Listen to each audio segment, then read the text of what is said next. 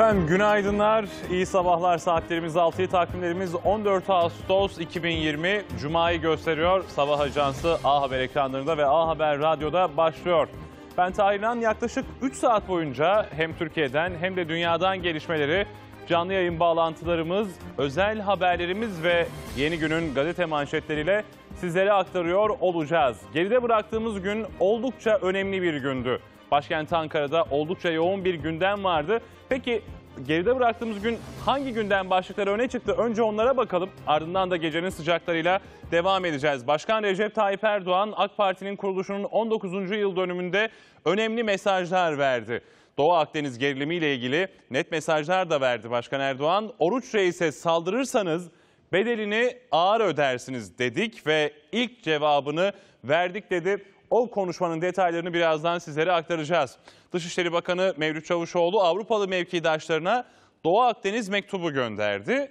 Türkiye'ye karşı alınabilecek haksız bir tutumun karşısında durmaya çağırdı mevkidaşlarına. Ve Bayraktar Akıncı TİHA'nın ikinci prototipi ilk uçuş testini başarıyla tamamladı. Türkiye'de son 24 saatte maalesef koronavirüs 21 can aldı. 1243 yeni vaka tespit edildi. Bakan Koca yükseliş süreklilik kazanıyor uyarısında bulundu. Devam edelim. Geride bıraktığımız günün önemli gündem başlıklarından e, birisi de dünya genelinde artan vaka sayılarıydı. Malum 21 milyonu aştı dünya genelinde. Dünya Sağlık Örgütü'nden de bir açıklama geldi. Aşı için dünyanın en az 100 milyar dolar harcaması gerektiğini belirtti Dünya Sağlık Örgütü. Ve Muharrem İnce, yeni parti iddialarıyla gündeme gelen İnce yol haritasını açıkladı ve bir günde memleket adıyla bir hareket başlatacak CHP eski milletvekili Muharrem İnce. Başkan Erdoğan imzasıyla 16 üniversiteye rektör atanmasına ilişkin kararda resmi gazetede yayımlandı ve son olarak da ÖSYM sınav başvurularında HES kodu isteneceğini duyurdu. Bu sayede adayların risk, risk taşıyıp taşımadığı da belirlenmiş olacak. Tüm başlıklara ilerleyen dakikalarda detaylıca bakacağız ama gece de oldukça hareketli geçti. Gece neler yaşandı o sıcak haberleri şimdi ekranlarınıza getirelim. Diyarbakır'daki bir kaza haberiyle başlayalım. Diyarbakır Elazığ karayolunda iki otomobil çarpıştı. Kazada aralarında kadın ve çocukların da olduğu ikisi ağır 10 kişi yaralandı. Yaralılar ambulanslarla tedaviye alındı. Kazaya sebebiyet veren diğer sürücü olay yerinden kaçtı. Ve gecenin bir diğer sıcak haberi de Aydın'ın Efeler ilçesinde geldi. Polise bir saldırı düzenlendi. Bir şüpheliyi yakalamak için polis bir eve operasyon düzenledi. Şüpheli evin çatısına çıkarak polise ateş açtı. Zanlıyı yakalamak için olay yerine polis özel harekat ekipleri sevk edildi. Geniş çaplı güvenlik önlemi alan ekipler zanlıyı yakalamak için operasyon başlattı. Ve gecenin bir başka sıcak haberi de Sakarya'dan geldi. Sakarya'nın Erenler ilçesinde akrabalar arasında arazi tartışması çıktı. Silahların çekildiği kavgada bir kişi öldü, dört kişi de yaralandı. Yaralılar hastanede tedavi altına alınırken polis olayla ilgili geniş çaplı bir soruşturma başlattı. Ve bir kavga haberi de Karabük'ten geldi gece saatlerinde. Bu kez kavga sokak kavgasıydı. 100. Yıl Mahallesi'nde gece saatlerinde sokak ortasında karşılaşan 5 kişilik iki grup arasında başlayan sözlü tartışma kavgaya döndü. Taraflar birbirine saldırdı. O anlarsa cep telefonuyla kaydedildi. Ve son olarak bir yangın haberini aktaralım hemen sizlere. Gece saatlerinde gelen bu kez yangın adresi İstanbul'un Fatih ilçesiydi. Fatih'te 8 katlı binanın çatı katında yangın çıktı. Vatandaşların yangını erken fark etmesi ve itfaiyenin müdahalesiyle yangın büyümeden söndürüldü. Çevrede toplanan vatandaşların sosyal mesafeye uymaması ise dikkat çekti ve gecenin bir diğer sıcak haberi de İzmir'den geldi. Gece saatlerinde İzmir'in Çeşme ilçesinde Otluk alanda bir yangın çıktı. Bölgede kuvvetli rüzgar nedeniyle de alevler gittikçe büyüdü ve şu saatlerde de o söndürme çalışmaları devam ediyor. Otluk alandan yükselen alevler gecenin karanlığını aydınlattı. İzmir Çeşme'de gece korku dolu anlar yaşandı. İnanılmaz bir rüzgar var. Fırtına var resmen. Ildır mahallesinde bulunan otluk alanda yangın çıktı. Kuvvetli rüzgar nedeniyle alevler geniş bir alana yayıldı.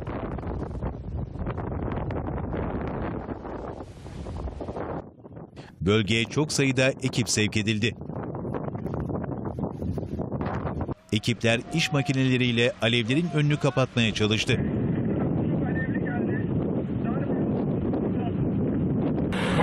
Tehlikesi olduğundan evlerinizi derhal boşaltmanız gerekiyor.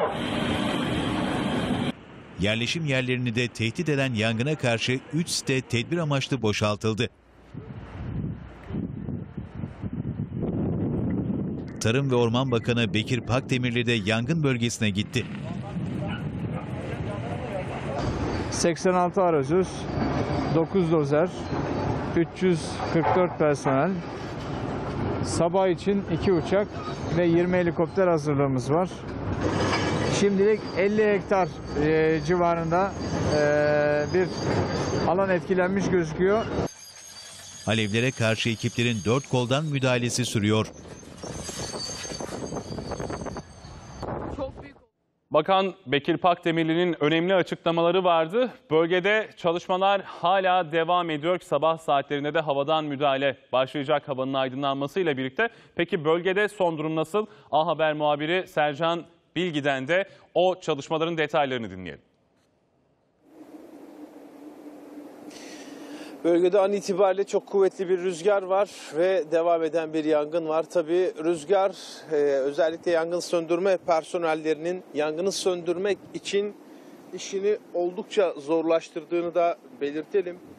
Tayfuner ekranlara getiriyor. Biraz da yangın şu anda e, dağlık ve tepelik alanların sırt kısımlarına ulaşmış durumda. İlk etapta otlu kısım da başlamıştı. Makelik alanına sıçradı ve sonrasında rüzgarın etkisiyle geniş bir alana yayıldı. Akşam saatlerinde daha doğrusu sabaha doğru e, Bakan e, Sayın Bekir Pakdemirli açıklama yaptı. 50 hektarın e, üzerinde bir alanın yandığını belirtti ve şu anda da yangının devam ettiğini paylaşmış olalım sizlerle. Tayfun er ekranlara getiriyor. Rüzgar kuzeyden düzeltiyorum batıdan doğuya doğru estiğini belirtelim ve hala etkisini sürdürdüğünü de hatırlatmış olalım.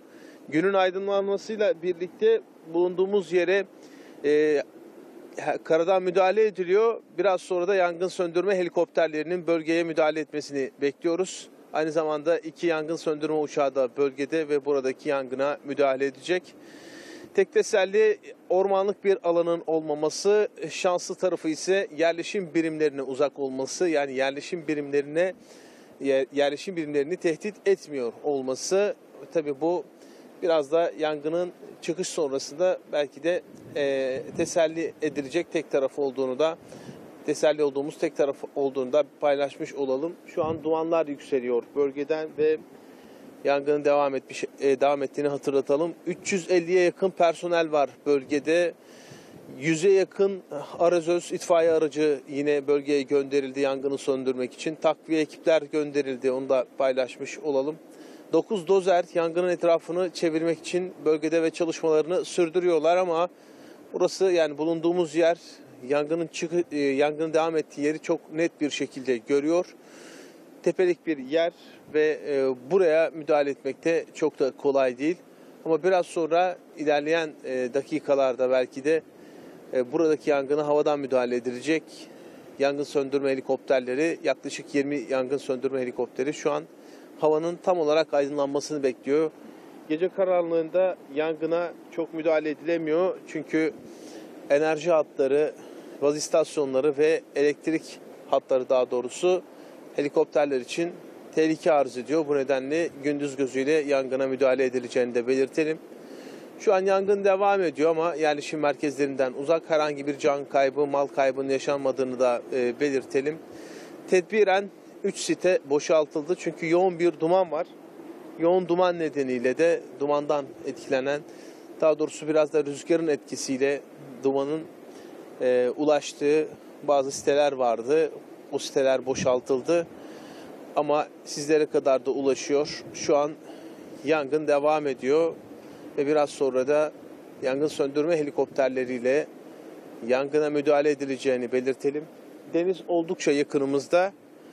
Yangın söndürme helikopterleri hemen yanı başımızda bulunan denizden aldıkları, alacakları suyu şu an devam eden yangına püskürteceklerini belirtmiş olalım. Tayfun Er'de ekranlara getiriyor. Yangın dün akşam 22.47'de başladı. Yangın haberi ihbarı geldi ve sonrasında ilk etapta bölgeye 4 arazöz gönderildi. Ancak rüzgar etkisiyle geniş bir alana yayıldı.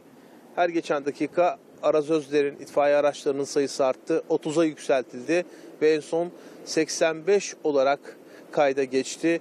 E, arazözlerin yani itfaiye araçlarının sayısı. Müdahale devam ediyor. İlerleyen saatlerde kontrol altına alınıp alınmayacağı ile ilgili net bir şey söyleyemiyoruz. Neden? Çünkü etkili olan bir rüzgar var. Belki size kadar ulaşıyordur rüzgarın sesi, uğultusu veya ağaçların belki de ne kadar şiddetli bir şekilde böyle sallandığını, e, sallandığı daha doğrusu size buradaki rüzgarın kuvveti ve etkisi hakkında bilgi veriyordur. Yoğun bir duman var bölgede. Hatta yangın meydana geldiği yerin etrafını çok böyle uzun bir, geniş bir duman tabakası kaplamış durumda. Ve yangının hala devam ettiğini söyleyelim. Makilik bir alan, etrafında ormanlık bir alan yok. Gün aydınlanması müdahale, özellikle yangın söndürme ekiplerinin müdahale etme kabiliyetini biraz daha arttırdı. İlerleyen dakikalarda müdahalenin gelmesini bekliyoruz. Bizler Tayfun Er'le birlikte şu anda Çeşme'de Ildırı bölgesindeyiz. Yangına müdahale devam ediyor ve dilerseniz şimdilik sözü İstanbul'a bırakalım. İlerleyen dakikalarda yeni gelişmelerle karşınızda olacağız. Sercan Bilge'ye teşekkür ediyoruz aktardığı bilgilerden dolayı. Onun da aktardığı gibi ilerleyen dakikalarda havanın tamamen aydınlanmasıyla birlikte havadan da müdahale devam edecek ve o yangınla ilgili gelişmeleri aktarmayı sürdüreceğiz A Haber ekranlarında. Geride bıraktığımız günün önemli başlıklarından birisiydi. Başkan Erdoğan AK Parti'nin 19. kuruluş yıl dönümünde konuştu. Yunanistan'a Doğu Akdeniz'deki gelişmeler üzerinden çok sert tepki gösterdi. Başkan Erdoğan'ın hedefinde muhalefet de vardı.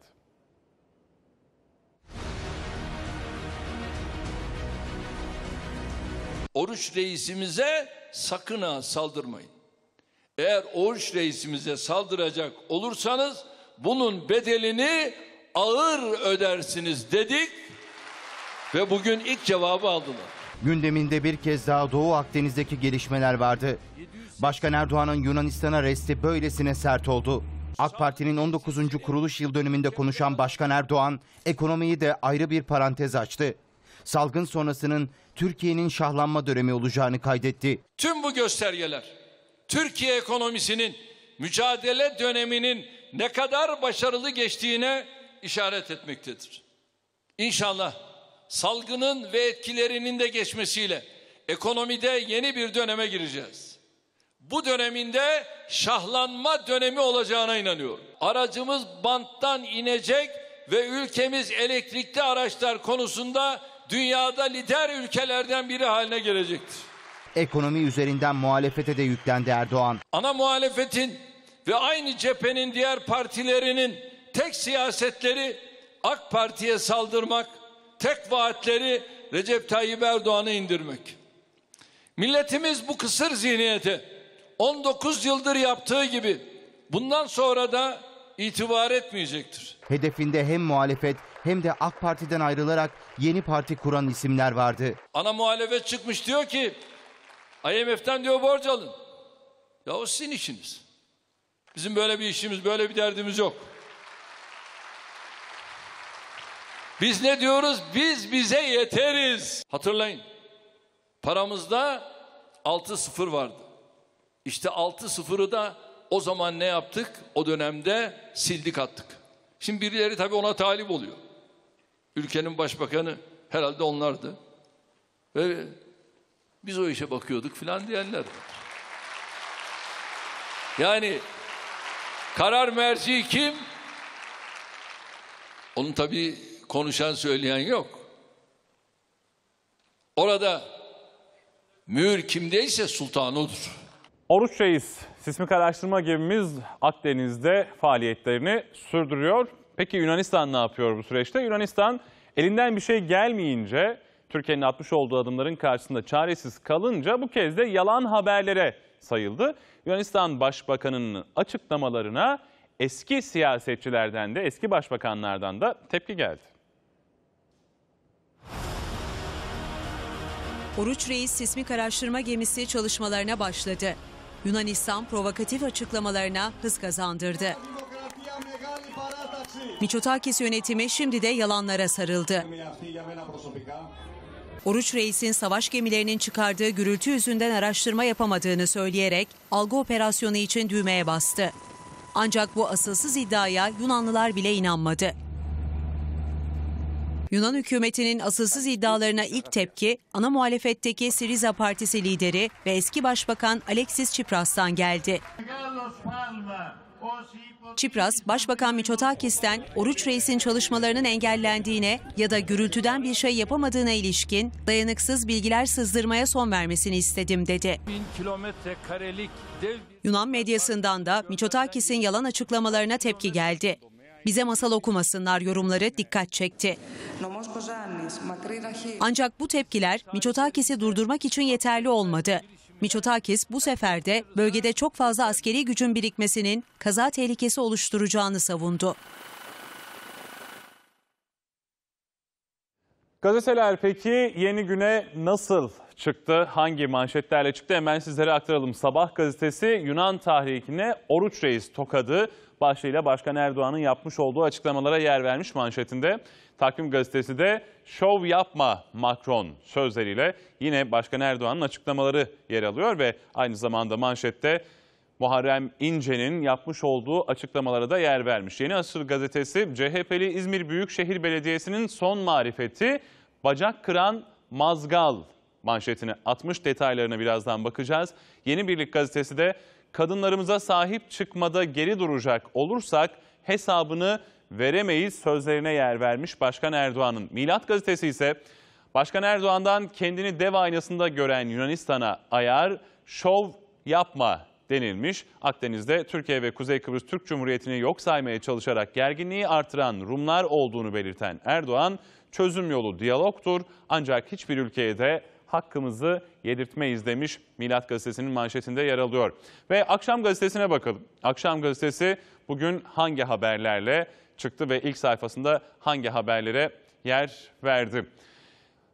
Mikron tehdit başlığıyla Macron Akdeniz gerilimi üzerinden Türkiye'yi tehdit etmeye kalktı. Macron Türkiye'nin adımları gerilimi tırmandırıyor. Doğu Akdeniz'deki askeri varlığımızı artıracağız dedi. Bölgeye bir fırkateyn ve iki savaş uçağı gönderdi. Fransa ile Yunanistan ortak tatbikat yaptı. İşte Macron'un bu açıklamalarına ve bu hareketlerine de Başkan Erdoğan'ın tepkisine yer vermiş Akşam Gazetesi. Başkan sert çıktı, şov yapma demiş. Erdoğan, Akdeniz'de gerginliği artıran Türkiye değil, Rum-Yunan zihniyetidir dedi ve uyardı. Kimse kendini dev aynasında görmesin.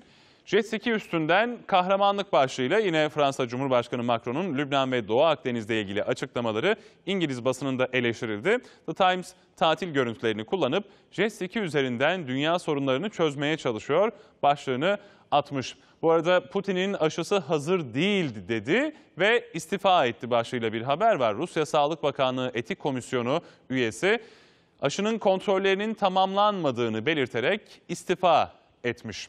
Ve devam edelim yine kişiye özel 6 ağır suçlama haberiyle. Muharrem İnce bir günde memleket hareketi için yola çıkarken Kılıçdaroğlu'na sert eleştirilerde bulundu ki geride bıraktığımız günün önemli gündem başlıklarından birisiydi. Tüm gözler e, özellikle CHP kanadında Muharrem İnce'nin yapacağı açıklamalara çevrilmişti.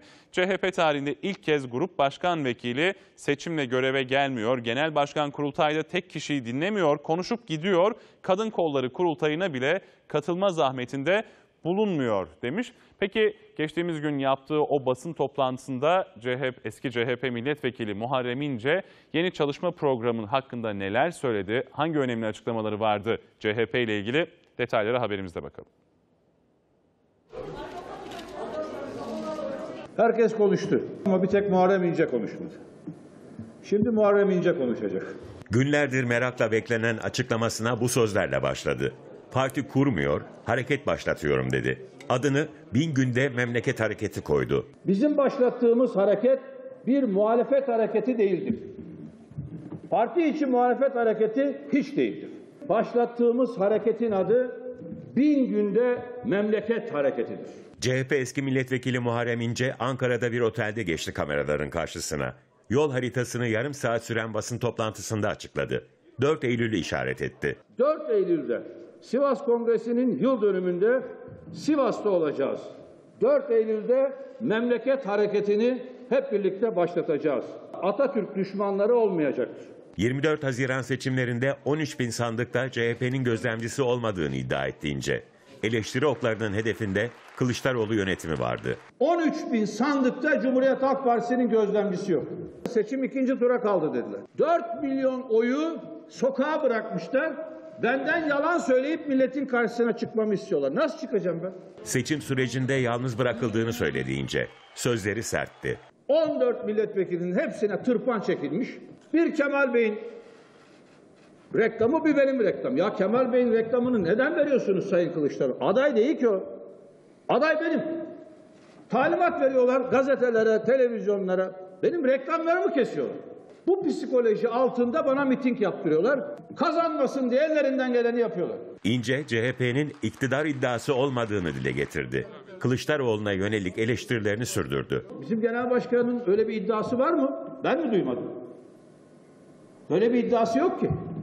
Böyle bir iddiası yoksa CHP'nin iktidara yürüdüğü de hayal demektir. Sözü yerel seçimlere getirdi. HDP gerçeğini hatırlattı. İstanbul'u, Ankara'yı, Adana'yı, Mersin'i, Hatay'ı, Antalya'yı bize Kürt vatandaşlarımız kazandırdı. CHP'de rant baronları var dedi İnce. Parti yönetimini işaret etti. Saray bunu destekliyor diyenler CHP içindeki rant baronlarıdır. Sık sık Kılıçdaroğlu'na hedef aldı Muharrem İnce. Cumhuriyet Halk Partisi'nin genel başkanı bir konuşmacıyı dahi dinlememiştir. Kadın kolları kurultayına ise katılma zahmeti dahi göstermemiştir. Kurultayın seçmediği parti meclisi üyesini iki satırlık bir yazıyla siz seçmezseniz seçmeyin ben genel başkan yardımcısı görevini ona veririm diyerek kurultay iradesini de tanımayan bir genel başkanımız var artık.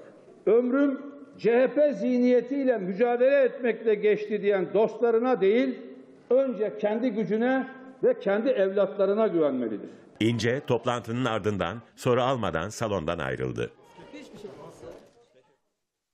Peki Muharrem İnce'nin yaptığı bu sert açıklamalar Cumhuriyet Halk Partisi'nde nasıl yankı buldu? Oradan da gelen açıklamalar vardı. Detaylar için Ankara'ya gidelim. Orada bizleri A Haber editörü Hakan Bacaksız bekliyor.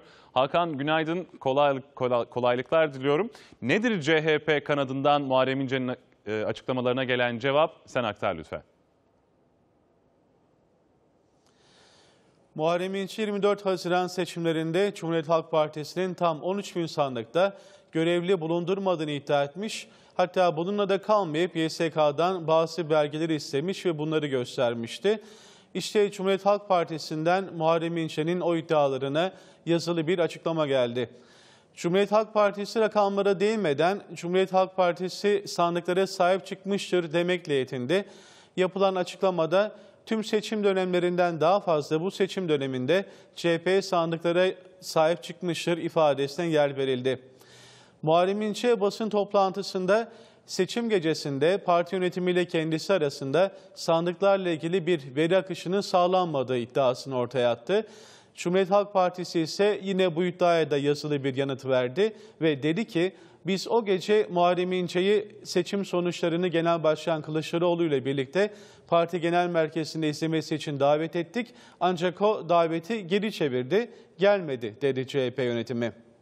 Ve o iddialardan biri yani İnce'nin basın toplantısında dile getirdiği bir diğer iddia kendisine yakın olan isimlerin önünün kesildiğiydi. Cumhuriyet Halk Partisi bu iddiayı da yalanladı ve yanıtladı aynı zamanda ve dedi ki CHP'de aday belirleme kriteri kimin kime yakın olduğu değil kazanma potansiyelidir şeklinde bir yanıt verdi. Hatta bir hatırlatmada bulundu ve dedi ki Muharrem İnce'nin dünürünü biz belediye başkan adayı olarak göstermiştik dedi. Muharrem İnce'nin bir diğer iddiası basın toplantısında dile getirdiği seçimden sonra yerel seçimde verdiği desteğe rağmen HDP teşekkür edilmediği iddiasıydı. CHP ise buna yine yanıt verdi ve dedi ki seçimden sonra tüm siyasi parti seçmenlerine biz teşekkür ettik ifadesini kullandı CHP yönetimi. İşte tüm bu iddialar ve verilen cevaplardan sonra Genel Başkan Kılıçdaroğlu partide hem parti yönetimine hem de milletvekillerine Muharrem İnce ile ilgili konuşmama ve yorum yapmama yasağı getirdi Tahir İnan. Ve Türkiye'nin koronavirüsle mücadelesiyle devam edelim. Son rakamları yine Sağlık Bakanı Fahrettin Koca paylaştı. Son 24 saatte 66.892 test yapıldı ve yapılan bu testler içerisinde 1243 yeni vaka tespit edildi. Hayatını kaybeden vatandaşlarımızın sayısı maalesef 21'di. 968 hastamızda iyileşmeyi başardı, sağlığına kavuştu. Özellikle iyileşmeyi başaran hastalarımızın sayısı 2 gündür binin altında ama vaka sayısı yükselmeye devam ediyor.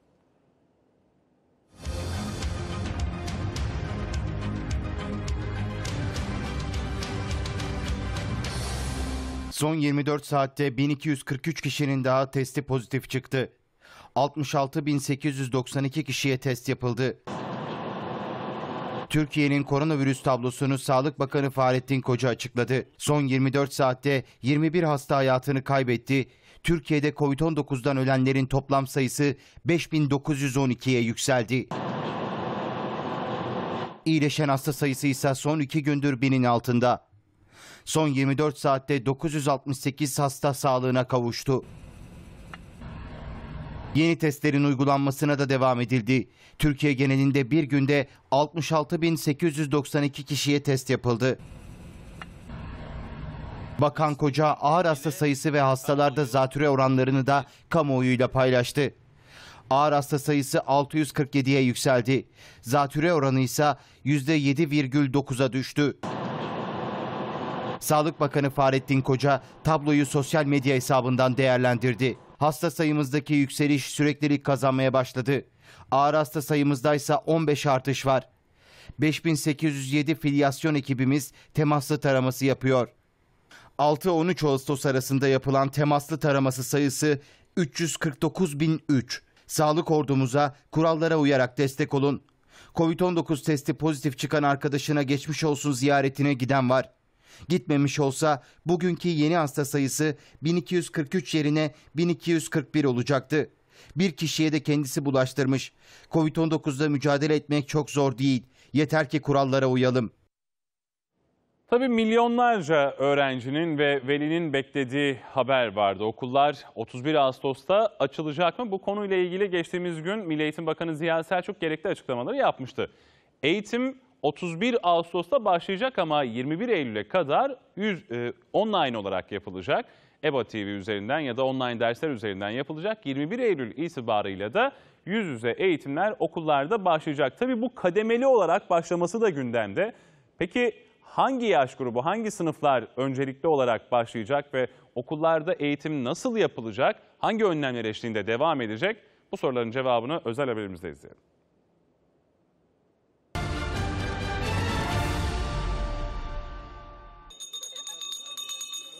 31 Ağustos 2020 tarihinde okulları uzaktan eğitimle açıyoruz. Merak edilen sorunun cevabı yanıt buldu.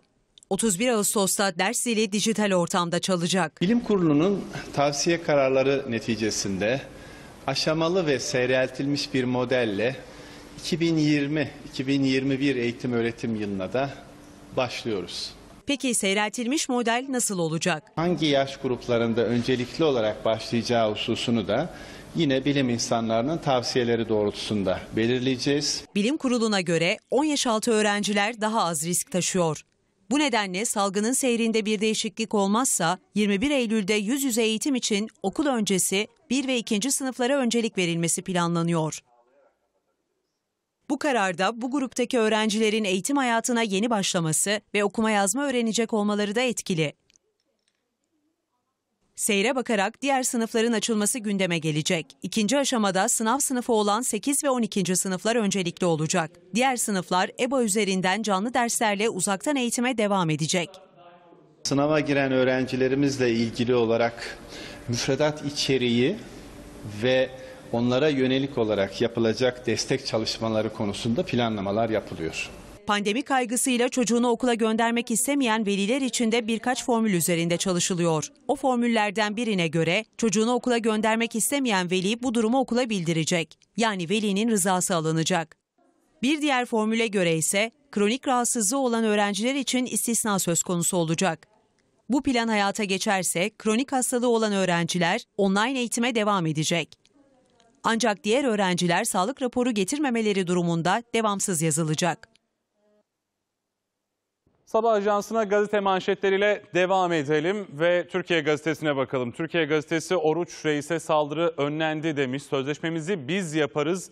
Başkan Erdoğan'ın ifadelerine yer vermiş ve Yeni Şafak gazetesi manşetinde bedelini ağır ödersiniz başlığıyla Başkan Erdoğan'ın Oruç Reis'in tehdit eden Atina'ya cevabına yer vermiş geride bıraktığımız gün yaptığı konuşmada. Yeni Akit gazetesi kimse kendisini dev aynasında görmesin başlığıyla yine o da Başkan Erdoğan'ın AK Parti'nin kuruluşunun 19.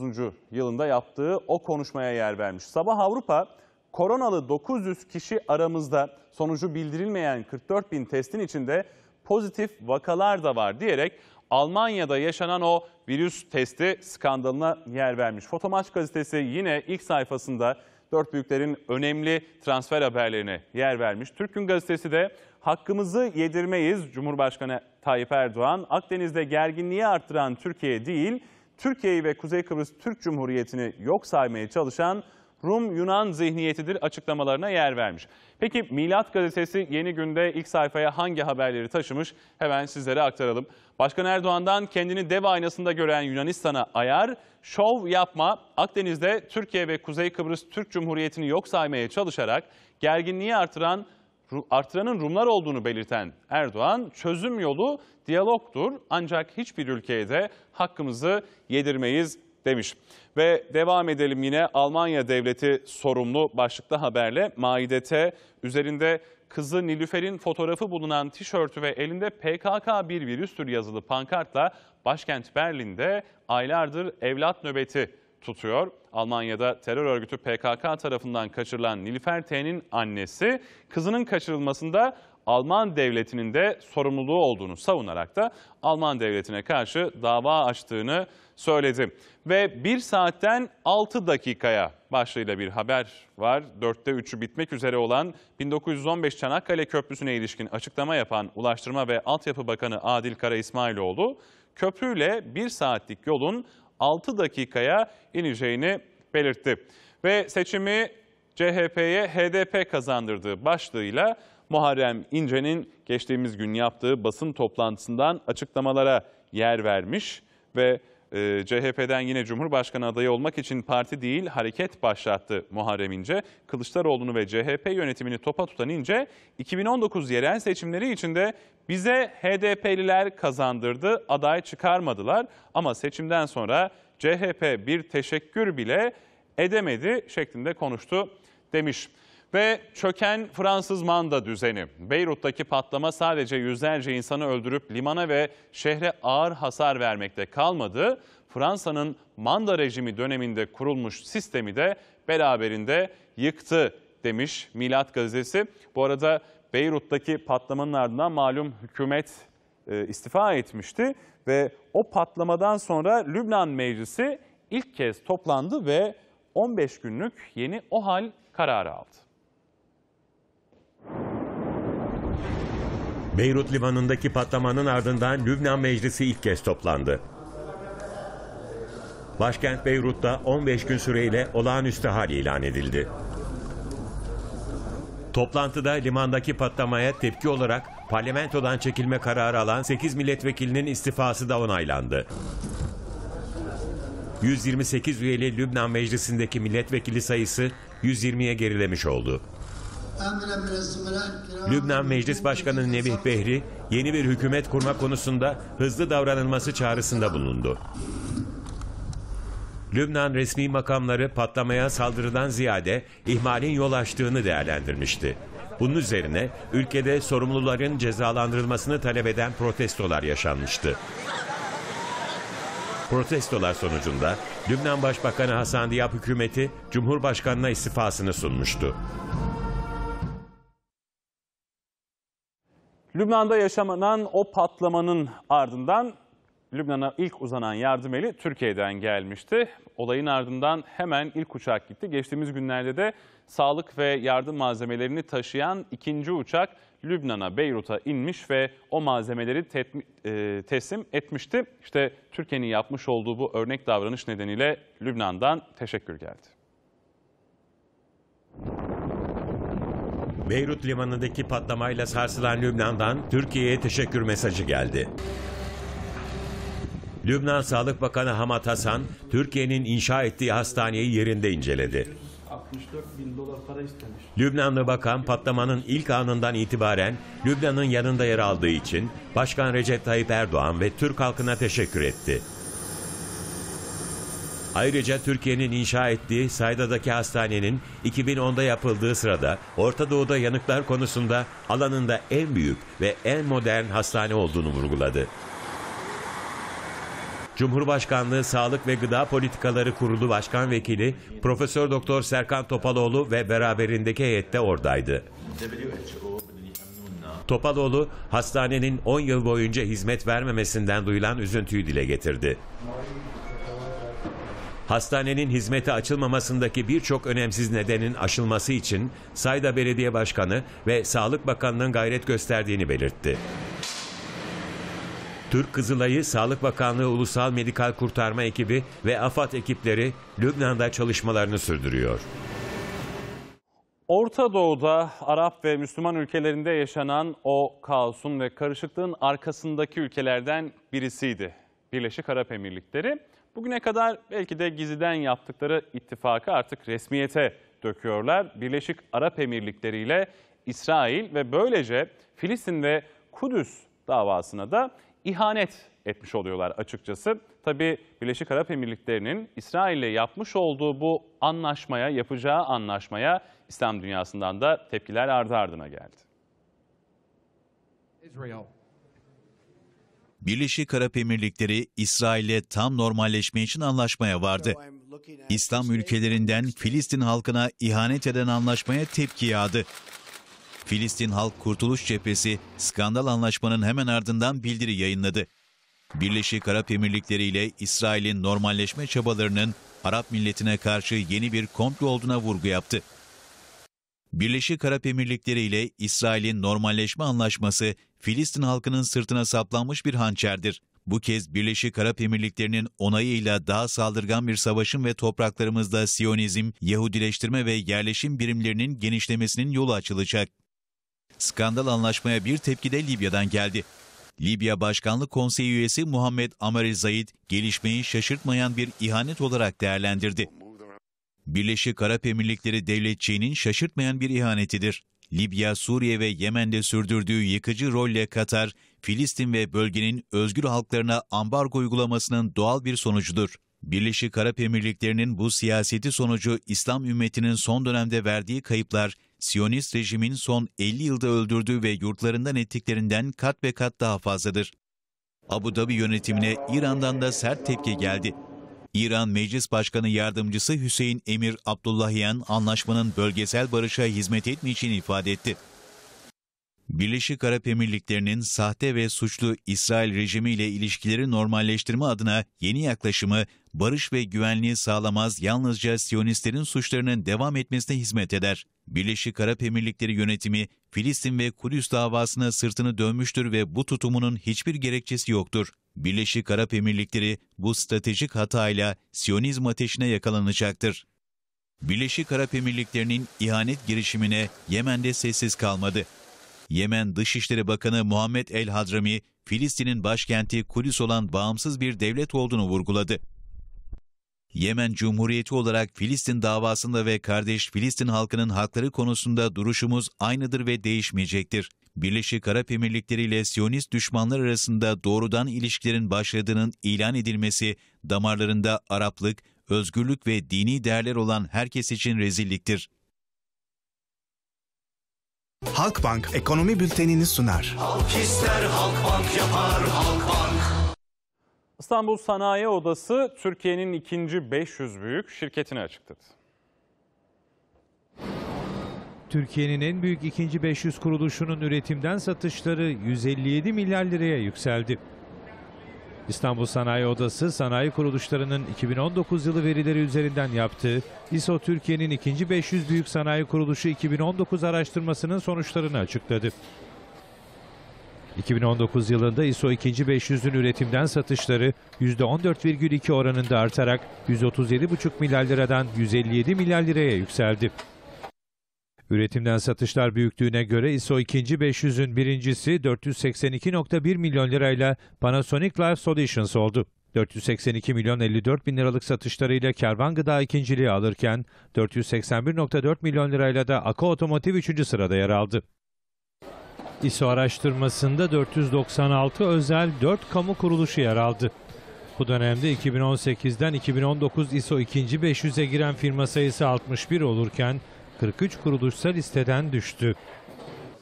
Araştırmada ayrıca maliyet artışlarının fiyatlara yansıtılmadığına yer verildi. Mali borçlar %1,7 gerilerken öz kaynaklardaki artış ise %17,8 oldu. 2019 yılında ISO 2. 500'de özel kuruluşların istihdamı %4,1 artarken ödenen maaş ve ücretlerde %26 oranında artış sağlandı. Bu dönemde ARGE yapan kuruluş sayısı ise 231 ile en yüksek seviyesine ulaştı. ARGE harcamaları %44,6 oranında artarak 721,1 milyon liraya yükseldi. Ve saatlerimiz 7'yi gösteriyor artık. Sabah ajansı devam ediyor. Türkiye ve dünya gündeminden gelişmeleri önümüzdeki 2 saat boyunca da sizlere A Haber ekranlarından ve A Haber Radyo'dan aktarmaya devam edeceğiz. Gecenin sıcak haberlerinden birisiydi. İzmir'in Çeşme ilçesinde otluk bir alanda başlayan yangın rüzgarın da etkisiyle oldukça büyük bir alana yayıldı. Gece saatlerinde rüzgarın da etkisiyle yangın oldukça büyüdü ve şu saatlerde o yangın yerinde, o yangının yandığı bölgede söndürme çalışmaları devam ediyor. Otluk alandan yükselen alevler gecenin karanlığını aydınlattı. İzmir Çeşme'de gece korku dolu anlar yaşandı. İnanılmaz bir rüzgar var. Fırtına var resmen. Ildır mahallesinde bulunan otluk alanda yangın çıktı. Kuvvetli rüzgar nedeniyle alevler geniş bir alana yayıldı.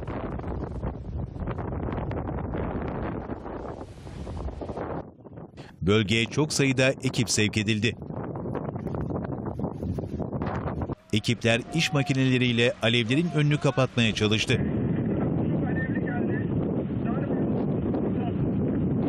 Yangın tehlikesi olduğundan evlerimizi derhal boşaltmamız gerekiyor. Yerleşim yerlerini de tehdit eden yangına karşı 3 site tedbir amaçlı boşaltıldı. Tarım ve Orman Bakanı Bekir Pakdemirli de yangın bölgesine gitti. Alevlere karşı ekiplerin dört koldan müdahalesi sürüyor. Yangına iş makineleri ve arazözlerle gece boyunca müdahale devam etti. Havanın aydınmaz, aydınlanmasıyla birlikte de yine gece saatlerinde Bakan Bekir Pakdemirli'nin açıklamalarıyla havadan müdahale başlayacaktı. Son durum için İzmir Çeşme'ye uzanalım. Orada muhabir arkadaşımız Sercan Bilgi bizleri bekliyor ve yangına müdahalede son durumu ondan dinleyelim.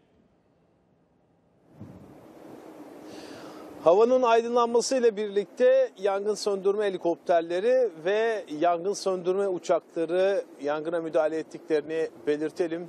Gece karadan müdahale ediliyordu ama günün aydınlanmasıyla birlikte yangına havadan da müdahale edilmeye başlandı. Tayfun Er ekranlara getirsin. Bizler de detayları paylaşmaya devam edelim. Gece saatlerinde başlamıştı yangın ve günün ilk ışıklarına kadar devam etti. Yaklaşık 7-8 saattir yangın devam ettiğini de hatırlatalım. Şu anda yangın bir e, saat öncesine nazaran yangının alevleri, dumanlarının biraz daha azaldığını görebiliyoruz. Özellikle havadan müdahaleyle birlikte yangının biraz daha etkisinin kırıldığını da belirtelim. Ee, şunu da ekleyelim. Yangının genişleme alanının önü kesilmiş durumda. Yani etrafı çevrildi. Bu önemli bir gelişme, sevindirici bir gelişme. Ama bölgeden hala yoğun dumanlar yükseliyor. Yangının bu kadar uzun sürmesinde de aslında şu anda sizlere kadar ulaşan, belki de sizlere kadar ulaşan rüzgarın etkili olduğunu e, belirtelim. Yangın şu sıralarda daha çok böyle dağlık ve tepe kısımlarda devam ediyor. Bu nedenle e, rüzgarın daha çok etkili ve kendini daha çok hissettirdiğini de belirtelim. Makilik bir alan ama bazı yerlerde de zeytinlik ağaçlarının bu yangından hasar gördüğünü de paylaşmış olalım. Yangın 22.47'de başladı ve e, yangın hala tam olarak kontrol altına alınabilmiş değil. Şu anda Tayfun Er ekranlara getiriyor ara ara. Bölgede yangın söndürme helikopterlerini görmek mümkün. Ama rüzgarın etkisiyle yangın çok kısa bir sürede geniş bir alana yayılabiliyor. Yani tam söndürüldü derken rüzgarın etkisiyle başka yerlerden kıvılcımlar, alevlerin yükseldiğini görebiliyoruz. Tabii bizler bir saat önce biraz daha havanın karanlık olduğu bir ortamda alevleri çok daha net görebiliyorduk. Şu anda biraz daha dumanlar belirgin. Hatta bulunduğumuz yerin etrafını e, geniş bir duman tabakasının da kapladığını belirtmiş olalım. 350'ye yakın yangın söndürme personeli bölgede 100'e yakın yakın e, itfaiye aracı Arazöz Orman İşletme Müdürlüğü'ne bağlı ve e, çok sayıda da e, helikopter sayı olarak ver, vermek gerekirse 20 helikopterin bölgede olduğunu biliyoruz ve iki e, yangın söndürme uçağında bölgede ve şu anda yangını söndürmek için uğraş verdiğini belirtelim. Ekranlara gelen bölge e, Ildırı bölgesi Çeşme'ye bağlı. Aslında tam nokta olarak Urla ile Çeşme arasındaki bölge, tam sınır bölge. Ve rüzgar şu anda kuzeyden güneye doğru esiyor. Yangın söndürme uçağı ekranlarda Tayfuran ekranlara getiriyor. Yangına müdahale ediyor. Yangının sönmesi, söndürülmesi, kontrol altına alınması için yoğun bir çaba sarf ediliyor. Gece itibariyle şu anda yangın söndürme uçağı yaklaşık 10 tonluk suyu yangının meydana geldiği yere, alevlerin yükseldiği yere bıraktı, püskürttü. Onu da ekranlara getirdik. Bazı siteler tedbir amaçlı boşaltıldı 3 site. Çünkü hem rüzgar var hem duman var.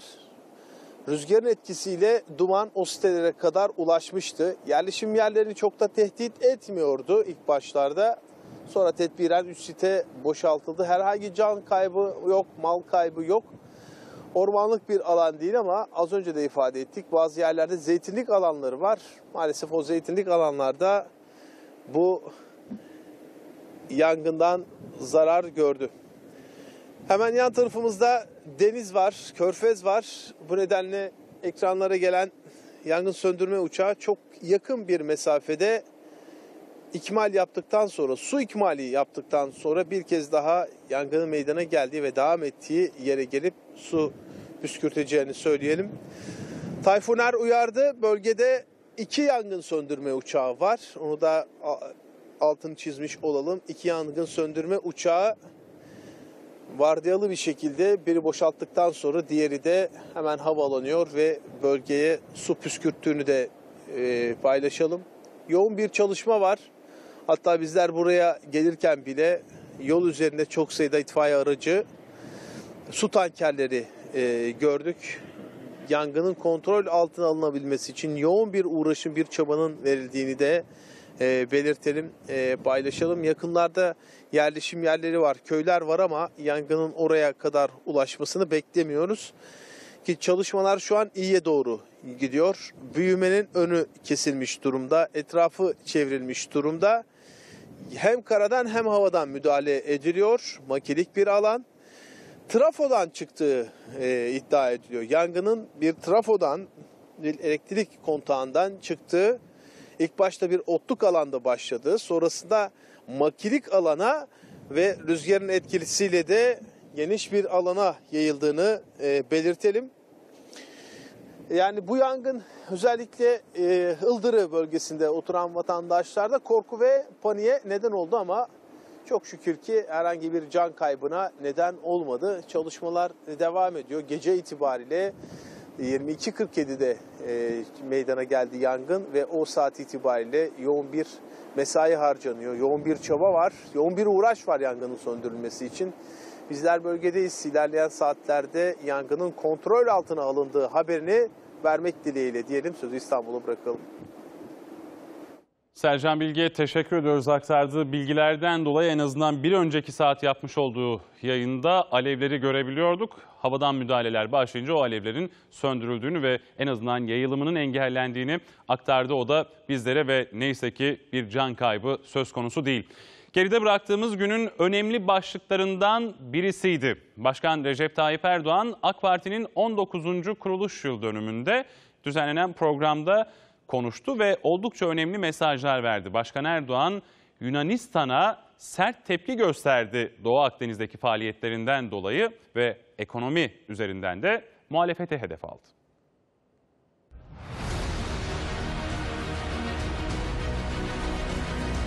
Oruç reisimize sakın ha saldırmayın.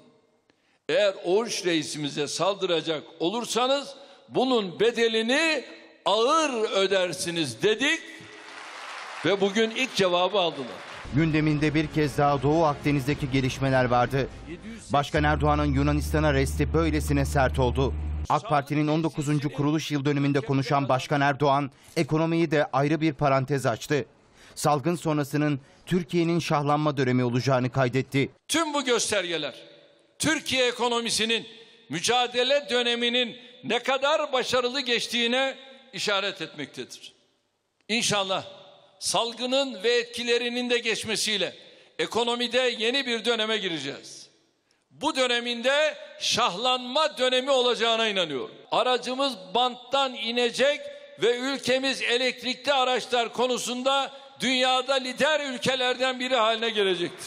Ekonomi üzerinden muhalefete de yüklendi Erdoğan. Ana muhalefetin ve aynı cephenin diğer partilerinin tek siyasetleri AK Parti'ye saldırmak, tek vaatleri Recep Tayyip Erdoğan'ı indirmek.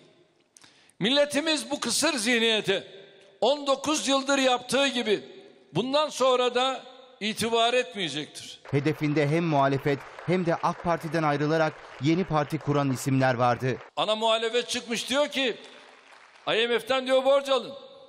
Ya o sizin işiniz. Bizim böyle bir işimiz, böyle bir derdimiz yok. Biz ne diyoruz? Biz bize yeteriz. Hatırlayın. Paramızda 6 sıfır vardı. İşte 6 sıfırı da o zaman ne yaptık? O dönemde sildik attık. Şimdi birileri tabii ona talip oluyor. Ülkenin başbakanı herhalde onlardı. Ve biz o işe bakıyorduk filan diyenler. Yani karar merci kim? Onun tabii konuşan söyleyen yok. Orada mühür kimdeyse sultan odur.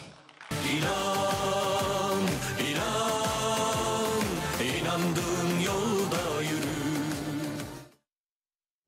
Türkiye'nin Navtex ilan ettiği bölgede milli gemimiz, yerli gemimiz Oruç Reis e, çalışmalarını sürdürüyor. Tabii bir yandan da bölgede bu çalışmalara eleştiriler var. Avrupa'dan gelen eleştiriler var ki bunların nedeni de Yunanistan'dan Yunanistan'ın Avrupa'dan, Amerika Birleşik Devletleri'nden istemiş olduğu çağrılardı. Dışişleri Bakanı Mevlüt Çavuşoğlu da mevkidaşlarına bir mektup gönderdi. Peki o mektubun ayrıntıları da neler var? Şimdi Ankara'ya uzanacağız ve detayları, o mektubun detaylarını A Haber editörü Hakan Bacaksız'dan dinleyelim.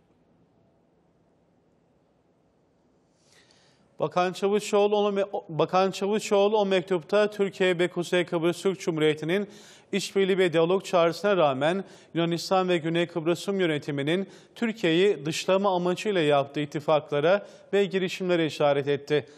Yunanistan'ın Mısır'la imzaladığı Türkiye ve Libya'nın kıta sahanlığını ihlal eden anlaşmanın Yunanistan'ın Türkiye ile işbirliği başlatmadaki isteksizliğini bir kez daha ortaya koyduğunu vurguladı Bakan Çavuşoğlu o mektupta. Bakan Çavuşoğlu ayrıca Türkiye-AB ilişkilerinin Yunanistan ve Güney Kıbrıs Rum yönetiminin kaprislerinden daha fazla zarar görmemesi gerektiğini anlattı ve ayrıca bazı AB üyesi ülkelerin Dışişleri Bakanlarını Türkiye'ye karşı olası bir tutuma karşı dik durmaya çağırdı. Ve son olarak da Bakan Çavuşoğlu bu mektupları gönderdikten sonra bazı AB üyesi ülkelerin Dışişleri Bakanlarını da telefonla arayarak bu mesajları bir kez daha iletti diyelim ve sözü size bırakalım. Teşekkür ediyoruz Hakan Bacaksız'a aktardığı bilgilerden dolayı ve Doğu Akdeniz'de Türkiye'ye karşı kışkırtıcı eylemlerde bulunan Yunanistan'dan Yunanistan'a Fransa'dan destek gelmeye devam ediyor. Öyle ki son olarak Yunanistan ordusuyla birlikte ortak deniz tatbikatı gerçekleştireceğini açıkladı Fransa.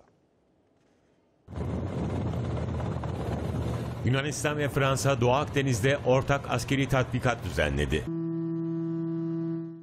Türkiye uluslararası hukuktan kaynaklanan hakları kapsamında Doğu Akdeniz'de Türkiye'ye ait karasularında Navtex ilan etti. Ardından da Oruç Reis sismik araştırma gemisi bölgede faaliyet yürütmeye başladı.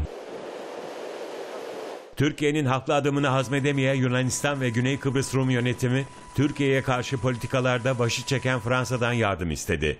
Önce Güney Kıbrıs Rum yönetimine savaş uçakları gönderen Fransa, şimdi de Yunanistan ordusuyla birlikte Doğu Akdeniz'de ortak tatbikat düzenledi. Türkiye Doğu Akdeniz'de tırmanan gerilimi müzakere masasında çözmek için çabalarını devam ettirirken Yunanistan ve Fransa bölgede tansiyonu yükseltecek girişimlerde bulunmaya devam ediyor. İşte Yunanistan ve Fransa Girit adasında Türkiye'nin de Navtex ilan ettiği sahada bir tatbikat gerçekleştirdiğini açıkladı.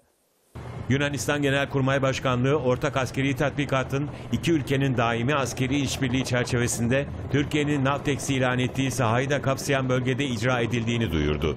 Tatbikat çerçevesinde Fransa'ya ait iki Rafale uçağının Girit adasındaki suda üssünü kullandığı belirtildi.